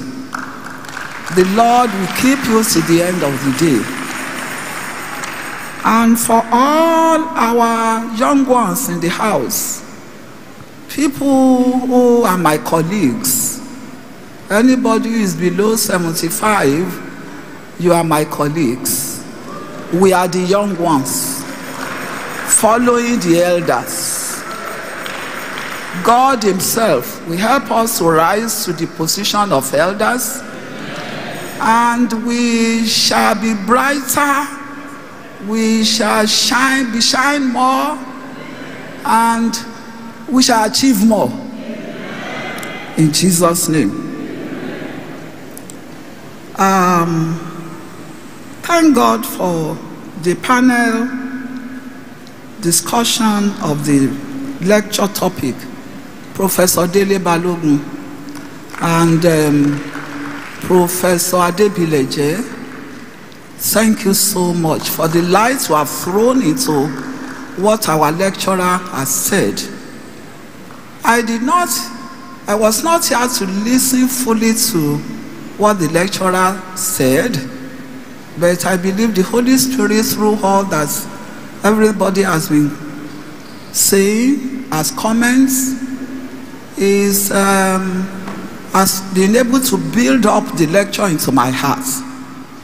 But as a mother and a pastor in RCCG, the wife of the general overseer of this mission, I have my own little contribution towards this lecture.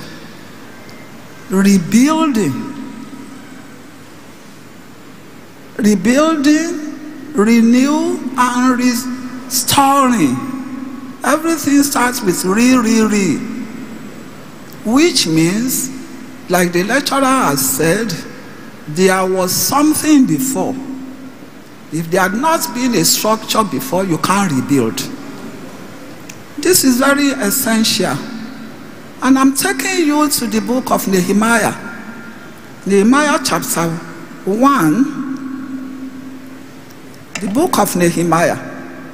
In the book of Nehemiah, the Bible let us know she referred to it herself also that she was the governor who took a stand at a time in Israel.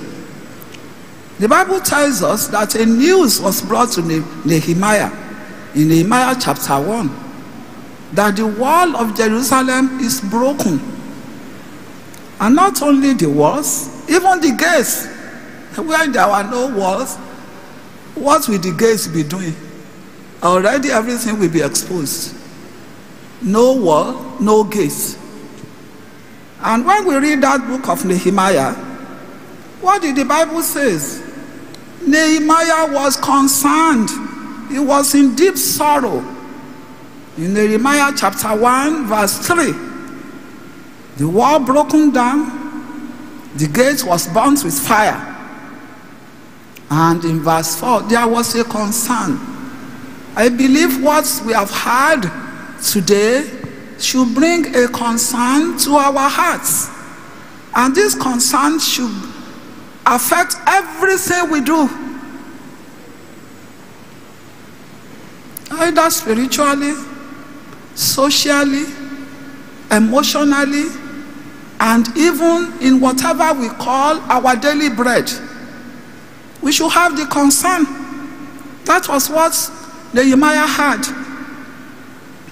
And the Bible tells us that not only that one, he prayed, he wept, he mourned.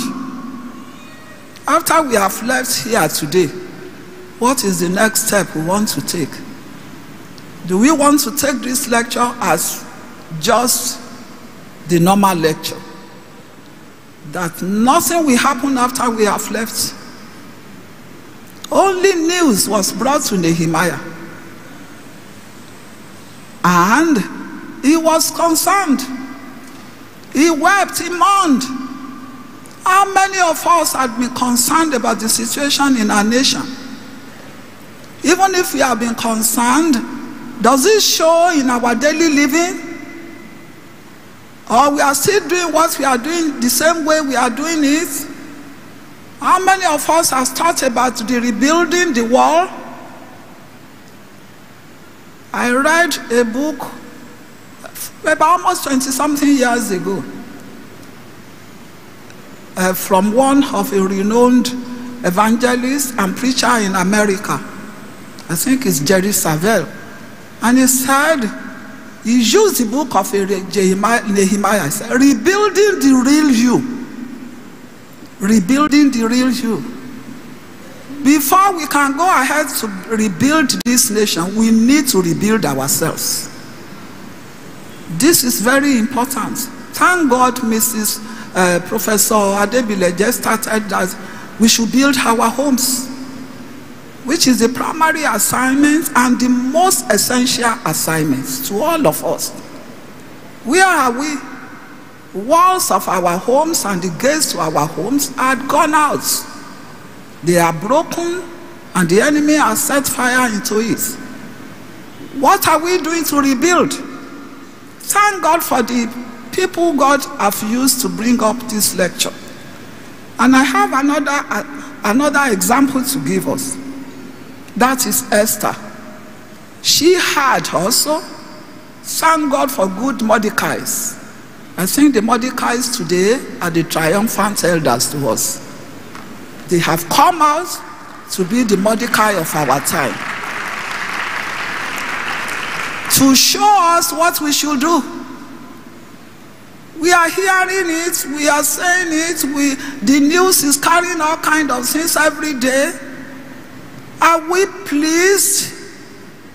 The Mordecais are now crying and saying, Don't think you yourself and your family will survive it. If you don't remind yourself, you are living for a time like this. We are all living for a time like this. None of us is exempted. For us to be alive at this period in this nation, probably if God did not want us to see what we are seeing now, we could have died some years back. But for the fact that we are living now and we are alive, it is to declare the purpose of God for our lives, for our nations, Nigeria in particular. What is our contribution in rebuilding? The lecturer said, you can't restore, you can't do anything without rebuilding. The first thing is to put up the dilapidated area and now begin to mold block. Thank God for the young ones in the house. Hallelujah. This is not the time for you to be yelling and be clapping and be clapping. The message was sent to Esther. Esther chapter 4. When Mordecai reminded her, maybe you are in the kingdom for a time like this. Ah. she, she, she stood firm. She made up her mind to use everything she could use. She said, If I perish, I perish. So she sent back to Mordecai, I will do what you ask me to do. If I perish, I perish. It's a task for all of us who are young in the house to arise now. It is not by the placard we will carry, that's not what we are saying. In every group, in every university, in every gathering we have, we should show a sign of rebuilding. Our slang now should be we must rebuild. This is our nation. We can't run away from Nigeria. Even if you run away, you are still carrying the, the green passports. Very soon, those people you are running to, you knew what Nigeria did sometimes. They, they, they chase out some one nation out of Nigeria. It may happen to you wherever you want to run to. Why don't you be like Esther? Commitments, selflessness, you know, doing everything we can do now to be in the truth wherever we are, either in our universities. Display everything that is of God, the righteousness of God. That the Bible says that we make our nation to be higher in everything we want it to be. When there is righteousness in the nation, there will be power, there will be glory, there will be everything good. And we are the ones, the triumphant elders, they have done their work. Oh. The Mordecaians, they have done their work. They are leaving us to it. What are we going to do? Is the next thing, the next question. I, I believe everybody in the house today will have some notes or points. You yourself, right from your homes to your places of work, to your schools, to your colleges and universities, to say, where is my position in this rebuilding? Am I going to be Nehemiah? Am I going to be Esther? Okay. When you have chosen out of the two, where am I starting? We just need to start. And it must be a radical one. Oby is telling us about why she was made the minister of um, uh, what is this minerals and um, education. Why she became the, the, the minister of education, I had to talk to her. We discussed. Everything was like, ah, this thing has been so bad. But we have to start from somewhere. We cannot be telling the story all the time, making the news. Let us start. Tell your neighbor, start from somewhere. Re- start rebuilding this nation. This is my own conclusion of the lecture this morning. Just to add to it. If I have, hallelujah. I was among some youth sometimes talking to them, and one of them said, Mom GO, what do you want? I said, I don't want anything. Just pray for me that my years will be 30 years less than what I am now. Because my heart burns. So many sins. If I am 30 year old now, but not 30 years old, I pray God will help me. I think you need to pray for yourselves too. God help me to rebuild this nation. This is what we need to go and be amplifying now. Let everybody around us, anywhere you go to today, wherever you they ask, oh, were you there? Did you hear what? Say you heard. But I'm telling you, go and rebuild this nation. Every one of us, we must start from somewhere. And I believe the God of heaven who helped Nehemiah and helped Esther will help all of us. To those of you who are in the government, like Dr. Oby said, that ah, Don't let just leave me. Let me do my little part and go. Hey, your thumbprint is already there. oh. Wherever you are in the government, and you are still doing the legitimate kind of work,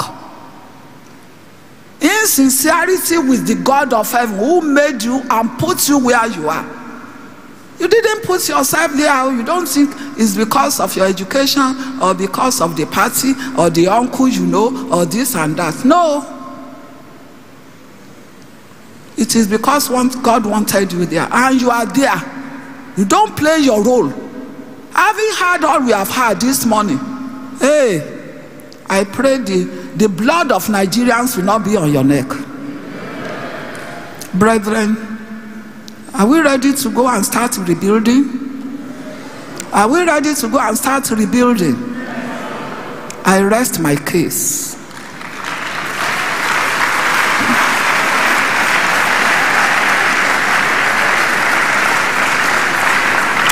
God in heaven will hear our cry.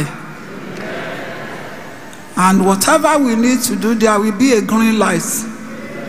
Every one of us, God will show us where we need to work hard. Everyone must play a role.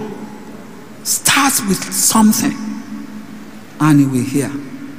If the general overseer is here, I believe he will like to pray for you.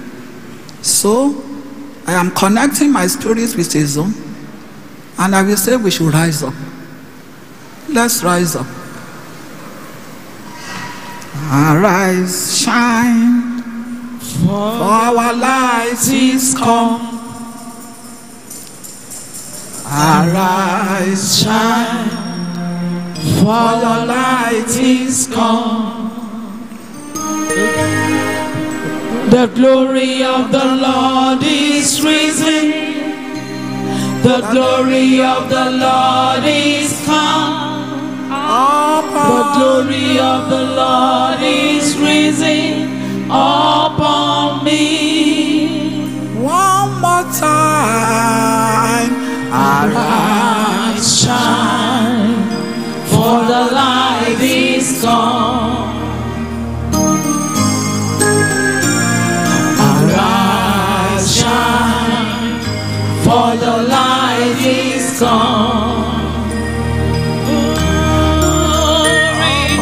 Glory of the Lord is risen. The glory, the glory of the Lord is come. The glory, the glory of the Lord is risen upon me. I want us as individuals to take that glory by faith. Because it is written in the Bible, arise, shine, the glory of God is risen upon us. Just thank God that, Father, at a time like this, I have your glory upon my life. I receive it. Let that glory descend on me permanently. Because glory is the opposite of shame. Begin to pray now. I want that glory to rest upon my life permanently. Anything that is shameful, anything that is not of God, I don't want it again in my life. Let your glory, let your glory sit on my life completely forever. I want to shine for you. Let that glory. I need that glory. I want to say thank you for that glory. Because it's already written. And I'm not going to reject it.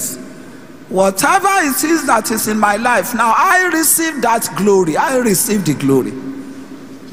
The glory of God that is risen upon me. Oh, Jehovah, I receive that glory.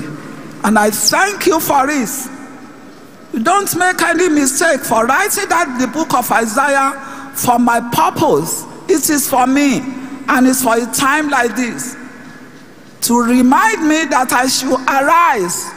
I say thank you. And the second prayer point is God, I must shine. Let's glory, let that glory help me to shine. My light must not grow dim. That light must not be hidden. It must not be wasted. You made me in your image and in your likeness. And you have already made your proclamation upon my life that I am the light of the world. Jehovah, I must shine. Whatever has not allowed me to shine before, if it is the devil who wants to cover my glory, today I rebuke it, I reject it. Whatever it is in my life, any character, any habits, oh Jehovah Ramakoshiya, Lord Almighty, today I reject them. No matter how old I am, I want to shine. I must shine. I must shine for you. Your glory is risen upon me. Oh, it is mandatory for me to shine. I must shine. I must shine. I'm not going to be hidden. The power and your glory forever and ever is what you said when you were teaching the disciples how to pray. Thy power and thy glory forever and ever. This glory and the power, I must continue in it as is upon me today, and I must walk with it. I don't want to be hidden again. Give me the courage, give me the boldness. Help me, Lord. Open my eyes of understanding to see where I have to shine, where I have to rebuild. Oh, Lord Almighty. Help me, Lord. Help me, Lord. Help me, Lord. In Jesus' name, we have prayed. All of us together again, let's pray for the lecturer of today that as she's basking and bouncing all over the world, that the God of heaven, who she doesn't deny and will never deny, back her up anywhere she goes, that the truth must be said, and our words will not fall on the ground, that the heavens will use her word to rebuild and to restore nations anywhere she goes, that our home, our home will not break down, our children will not break down they will live to the, for, the, for the glory of the Almighty God. Let's pray for her. She's a vessel in the hand of God. There are many vessels in the house of God, but she's an exemplary one. The one that even the other ladies should continue to emulate. Other, other children must continue to emulate. Let's ask God to keep her going in his, in, our, in his glory. Masokele makoshira masanto lore kiya mokuri kakale mekashe. Ure mo sentele maye mokoshikaya. Thank you. Let's begin to pray for all the triumphant elders and the planning committee of this annual lecture. That even as they are, they are our Mordecai today, the God who decorated Mordecai will decorate them, and they will move from one degree of glory to another. Let's pray for them. Asokele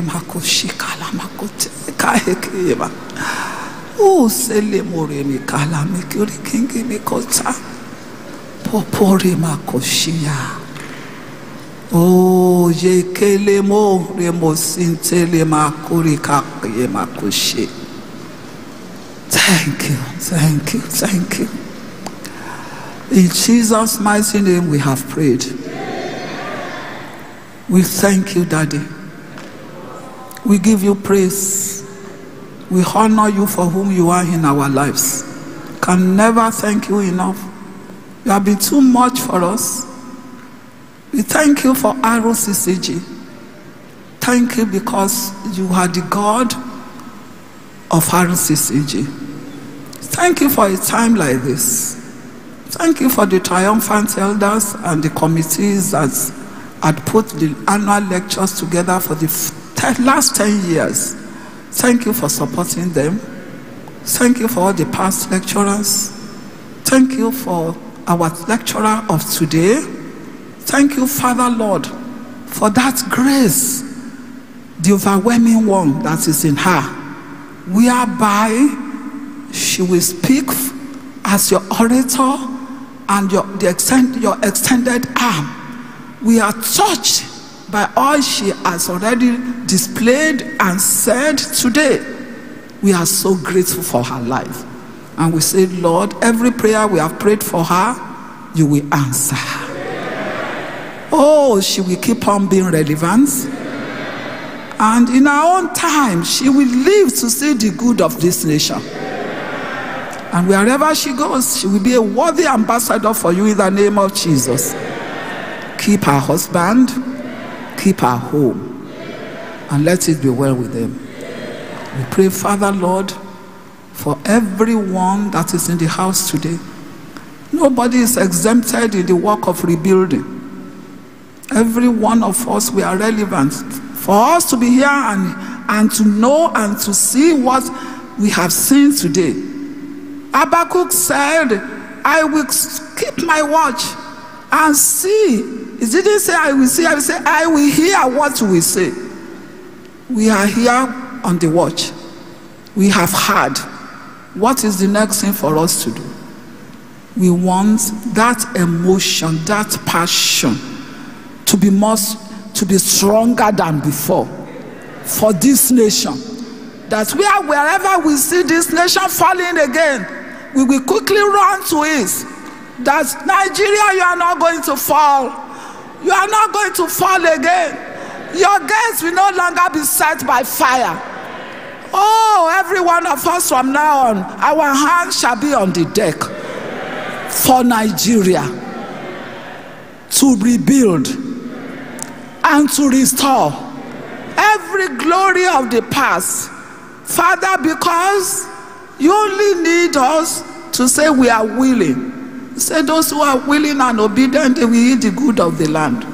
We ask, Lord, that spirit of willingness, obedience to your word, commitment, passion will come upon us. We are wherever we are, in our homes, at school, universities, colleges, everywhere, either as a government worker or even a pastor in the church, from now on, that word rebuild, let it be chasing us about. So that our utterance will not be to pull down, but to rebuild. Help us. Let our slang from now on be to rebuild. To rebuild. To rebuild. To rebuild. And so shall it be. All our young ones, let them have a new mindset. The mind of Christ, let it be in them. Not carrying placard or ah Jehovah Makasikilima. Please, Lord, rebuild them yourself so that they can rebuild this nation.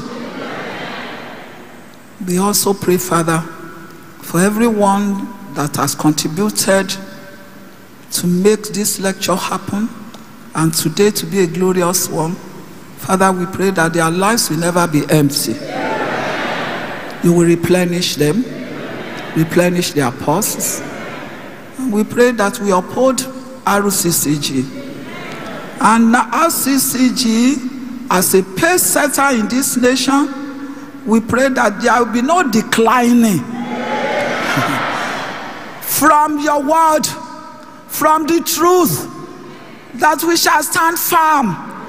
And everyone who would like to spoil anything that is, is of yours in RCCG, we pray that wind you say is going to blow this year, we blow across every parish in RCCG. And you will make the substance to stand firm. all the shadows shall be blown away. The mighty name of Jesus. We therefore pray for the general overseer, Lord. You are honoring him because for this lecture this morning. We say his life will continually be in your honor. Everything that is shameful will not be his portion. You have placed him high. Please support him by your pillar. Help him. Make him stronger and stronger. Let him fulfill his days and let him finish well. As well as all the elders and even the young ones here at the house, all of us, let us finish well. Thank you for everything. If you tarry by this time next year, oh, let us have a greater house, a glorious house with testimonies of where we, did, we have already built Nigeria to. So shall it be. In Jesus' mighty name, we have prayed. Change my heart, oh God.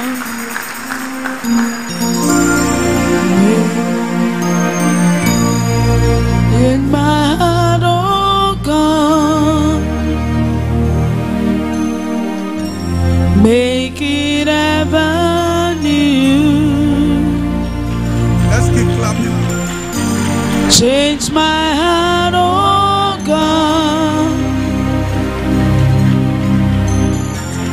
May I be like you. Let's keep clapping our hands for Jesus. Change my heart, oh God. Change my heart, oh God. Make it ever true, Lord.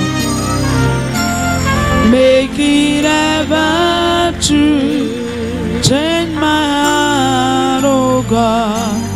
Change my heart, oh God. May I be like you. May I be like you.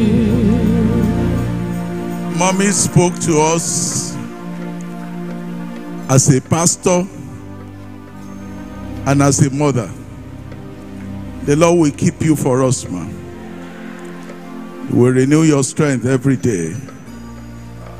For 10 years, she has been a pillar for this lecture. You will never diminish, man.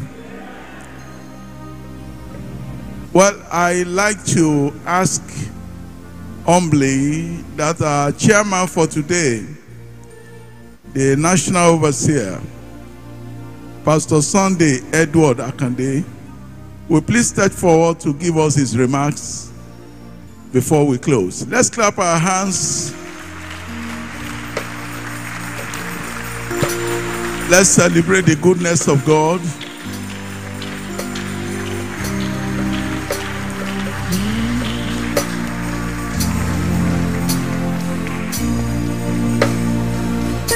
Praise the name of the Lord. Praise the name of the Lord. Well, I don't know where my mother has spoken. I don't know why I'm called upon again to come and speak.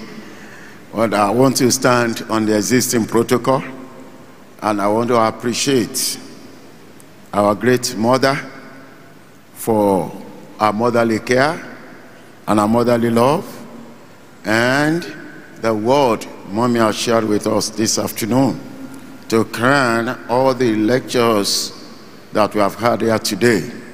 I appreciate our lecturer for today, though I came late, but what I met, uh, I believe our dear pastor, Pastor Oby, is fully loaded, and God will continue to strengthen you, ma. In the mighty name of Jesus, I want to thank God for our dear pastor, pastor of our mommy, mommy Oby. God will continue to strengthen you in the mighty name of Jesus. And for our two professors, they've done wonderfully well. They've done wonderfully well. Uh, to expatiate on what we have had, what a great day. And I pray that this will not just be an academic exercise, it will be a time for us to, to look up. Because when we're talking about building a nation, we are the nation. And the church has a big role to play if what we have had today will ever come to pass. Let us start just as mommy has spoken. Let us start with ourselves. And let us start with the church. Are those days that people sent to this church to come and recruit I hope uh, technocrats. But today, what is happening to us? Let us start with that. Are we in the foundation that was laid for us eh, as a church? Because you cannot build a nation without starting with ourselves. And uh, Abraham asked the Lord when the, the angel of God came to destroy Sodom and Gomorrah, suppose you have 10, will you still destroy the city? He said, if you have 10, today we are celebrating our Father in the Lord. If we can have 50 of the GO in Nigeria today, in the Redeemed Christian Church of God, this nation will be built up in sacrifice, in faithfulness, in commitment. I believe Nigeria will be built up. But can we have it? Are we in the foundation that was laid for us by the fathers of this mission?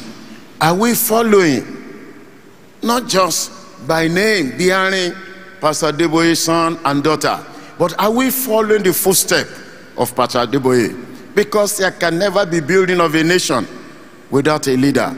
And we have a leader. Are we following that leader? Because I believe if few of us will follow the footstep of our daddy, Nigeria will be built up. There's no doubt about that. But are we following it? Look at what is happening to us today. Tribalism are taking over Redeemed Christian Church of God. We need to do something about it. In the past, in the time past, I can easily travel to the east or south or north, and nobody will ask me they only know me as a pastor of Redeemed Christian Church of God. But now, even in our midst, that because we cannot be talking of a nation, we are the nation. We need to start within ourselves and to when people begin to see that example, you will see the nation will be built. That's just my few comments because I cannot be talking where my mother has spoken. and my mother has spoken well. So I, I want to just stand on my mother's speech today and encourage all of us to go back and begin to do what is right as a ministers of God in our different location, now different little little section that we are. As a national overseer, I have seen a lot that and we need to pray that we need to rebuild, even starting from the church. And God will help us in the mighty name of Jesus. With this we comment, I like to, I know there are some of us, you have heard the word today, right from our chief lecturer to all the uh, professors that have spoken. And I believe God is talking to you that you need to go back to God to say, Lord, I am part of those who are not really doing what I'm supposed to do in rebuilding this nation, in restoring this nation, in renewing this nation. But Lord, I've heard your word. I want to come back to you. I want to enter into covenant with you. That as from now, in my own little way, there will be a change. In my own little way, I'll begin to do that is expected of me. Like Nehemiah, yes, as we have been told, like all others that we have read in the Bible. You want to make a covenant with God. You want to come to the Lord to say, Yes, Lord, help me. I'll be part of those that will rebuild in Nigeria. I will be one of those that will restore the glory of Nigeria. Shall we all please rise? Maybe you are there you want to step forward. You want to say, Yes, Lord, help me. I am going to your altar as a covenant with you that I will be part of those that will restore the glory of this nation. I will be part of those. We don't know where God is taking you to, but I believe with what we have had today, the light is shining into your heart right now. The light is shining into your path right now. Most especially, especially even our youths. What's your own part in this rebuilding? You too can walk into the altar and say, Lord, help me. I am coming before your altar to enter into covenant with you that I will be part of those that will rebuild this nation. Whatever opportunity given to me, I will make the best use of it. I will not abuse it. I will be part of those that will restore back the glory of Nigeria. If you are there and you want to be part and you want to enter into that covenant with God, I want you to just take a step of faith and come to the altar and come and renew that covenant with God. This is not just an academic exercise. This is a real lecture, a practical lecture, a practical lecture that we need to go to begin to practicalize, not just talking. No, we are not just here to talk. We are here to begin to see changes, to see Nigeria being rebuilt, to see Nigeria renewed, to see Nigeria restored. If you want to be part of those restoration, you want to be part of that rebuilding, you want to be part of that renew, come before the Lord and come and pray, come and enter into covenant with him. If there's anyone, please open your eyes and come and stand on this altar of God and let us enter together into covenant with God that things will begin to take a new turn as from today. If you are there, please just come forward, come forward, come forward quickly before we pray. Before we pray, come forward quickly. Yeah. There's none. That mommy have prayed for us. And I know God have answered the prayer. Oh, we can see one coming. Okay, please, please come. Please come. Let me give you one more, one more opportunity. One more opportunity. If you are still there, you want to come, please come, please come. Please come, please come. This is a renewal time. This is a renewal time. Come, just come, just come. Don't allow anybody to, to stop you. Just come forward, come forward. You are entering into covenant with the King of Kings, with the Lord of Lords, not with man. We have heard the word here today. We've heard that powerful message. Powerful message. It's not just from our mommy or pastor that spoke, it's from the throne of grace. It's from the throne of grace with all the comments you have heard. With all the comments you have heard. Come, come, come, come. If you are there, you want to join? Please join them quickly. Join them quickly. Join them quickly. Join them quickly. This is the hour to renew that covenant with the Lord. Oh, you are taking a bold step before the King of Kings, before the Lord of Lords. And I can assure you, the Almighty God is watching. And I can see grace coming upon your life. As you are taking that step, I see the grace of God coming upon your life. Right now, I see the grace coming. I see the grace coming in the name of Jesus. I see the grace coming in the name of Jesus. Yes, Lord. Because this is not just a salvation call, this is a renewal call. I would like, please, where mommy is seated, to please release grace upon these ones. please, I want mommy, because that prayer is more than me. I want mommy to release grace upon these ones. Make it ever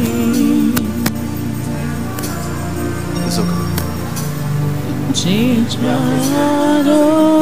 I said, ah, okay, because I've been given this grace, I know the anointing will come upon my life. Father in heaven, I want to bless your name. I thank you, Lord, for all this, your children. I thank you, Lord, for the word you have sent to us today. And I thank you, Lord, for these ones who are entering into covenant with you. That by your special grace and mercy, we want to be part of the renewal, restoration, and the rebuilding of this our nation, Nigeria. Father, I ask, oh God, that your grace will come upon this ones in the name of Jesus. I pray, my Father, my God, that you will uphold them, you will strengthen them, you will shine your light upon their lives, and grace to stand in faithfulness, grace to stand in holiness, grace to stand, oh God, in sacrifice.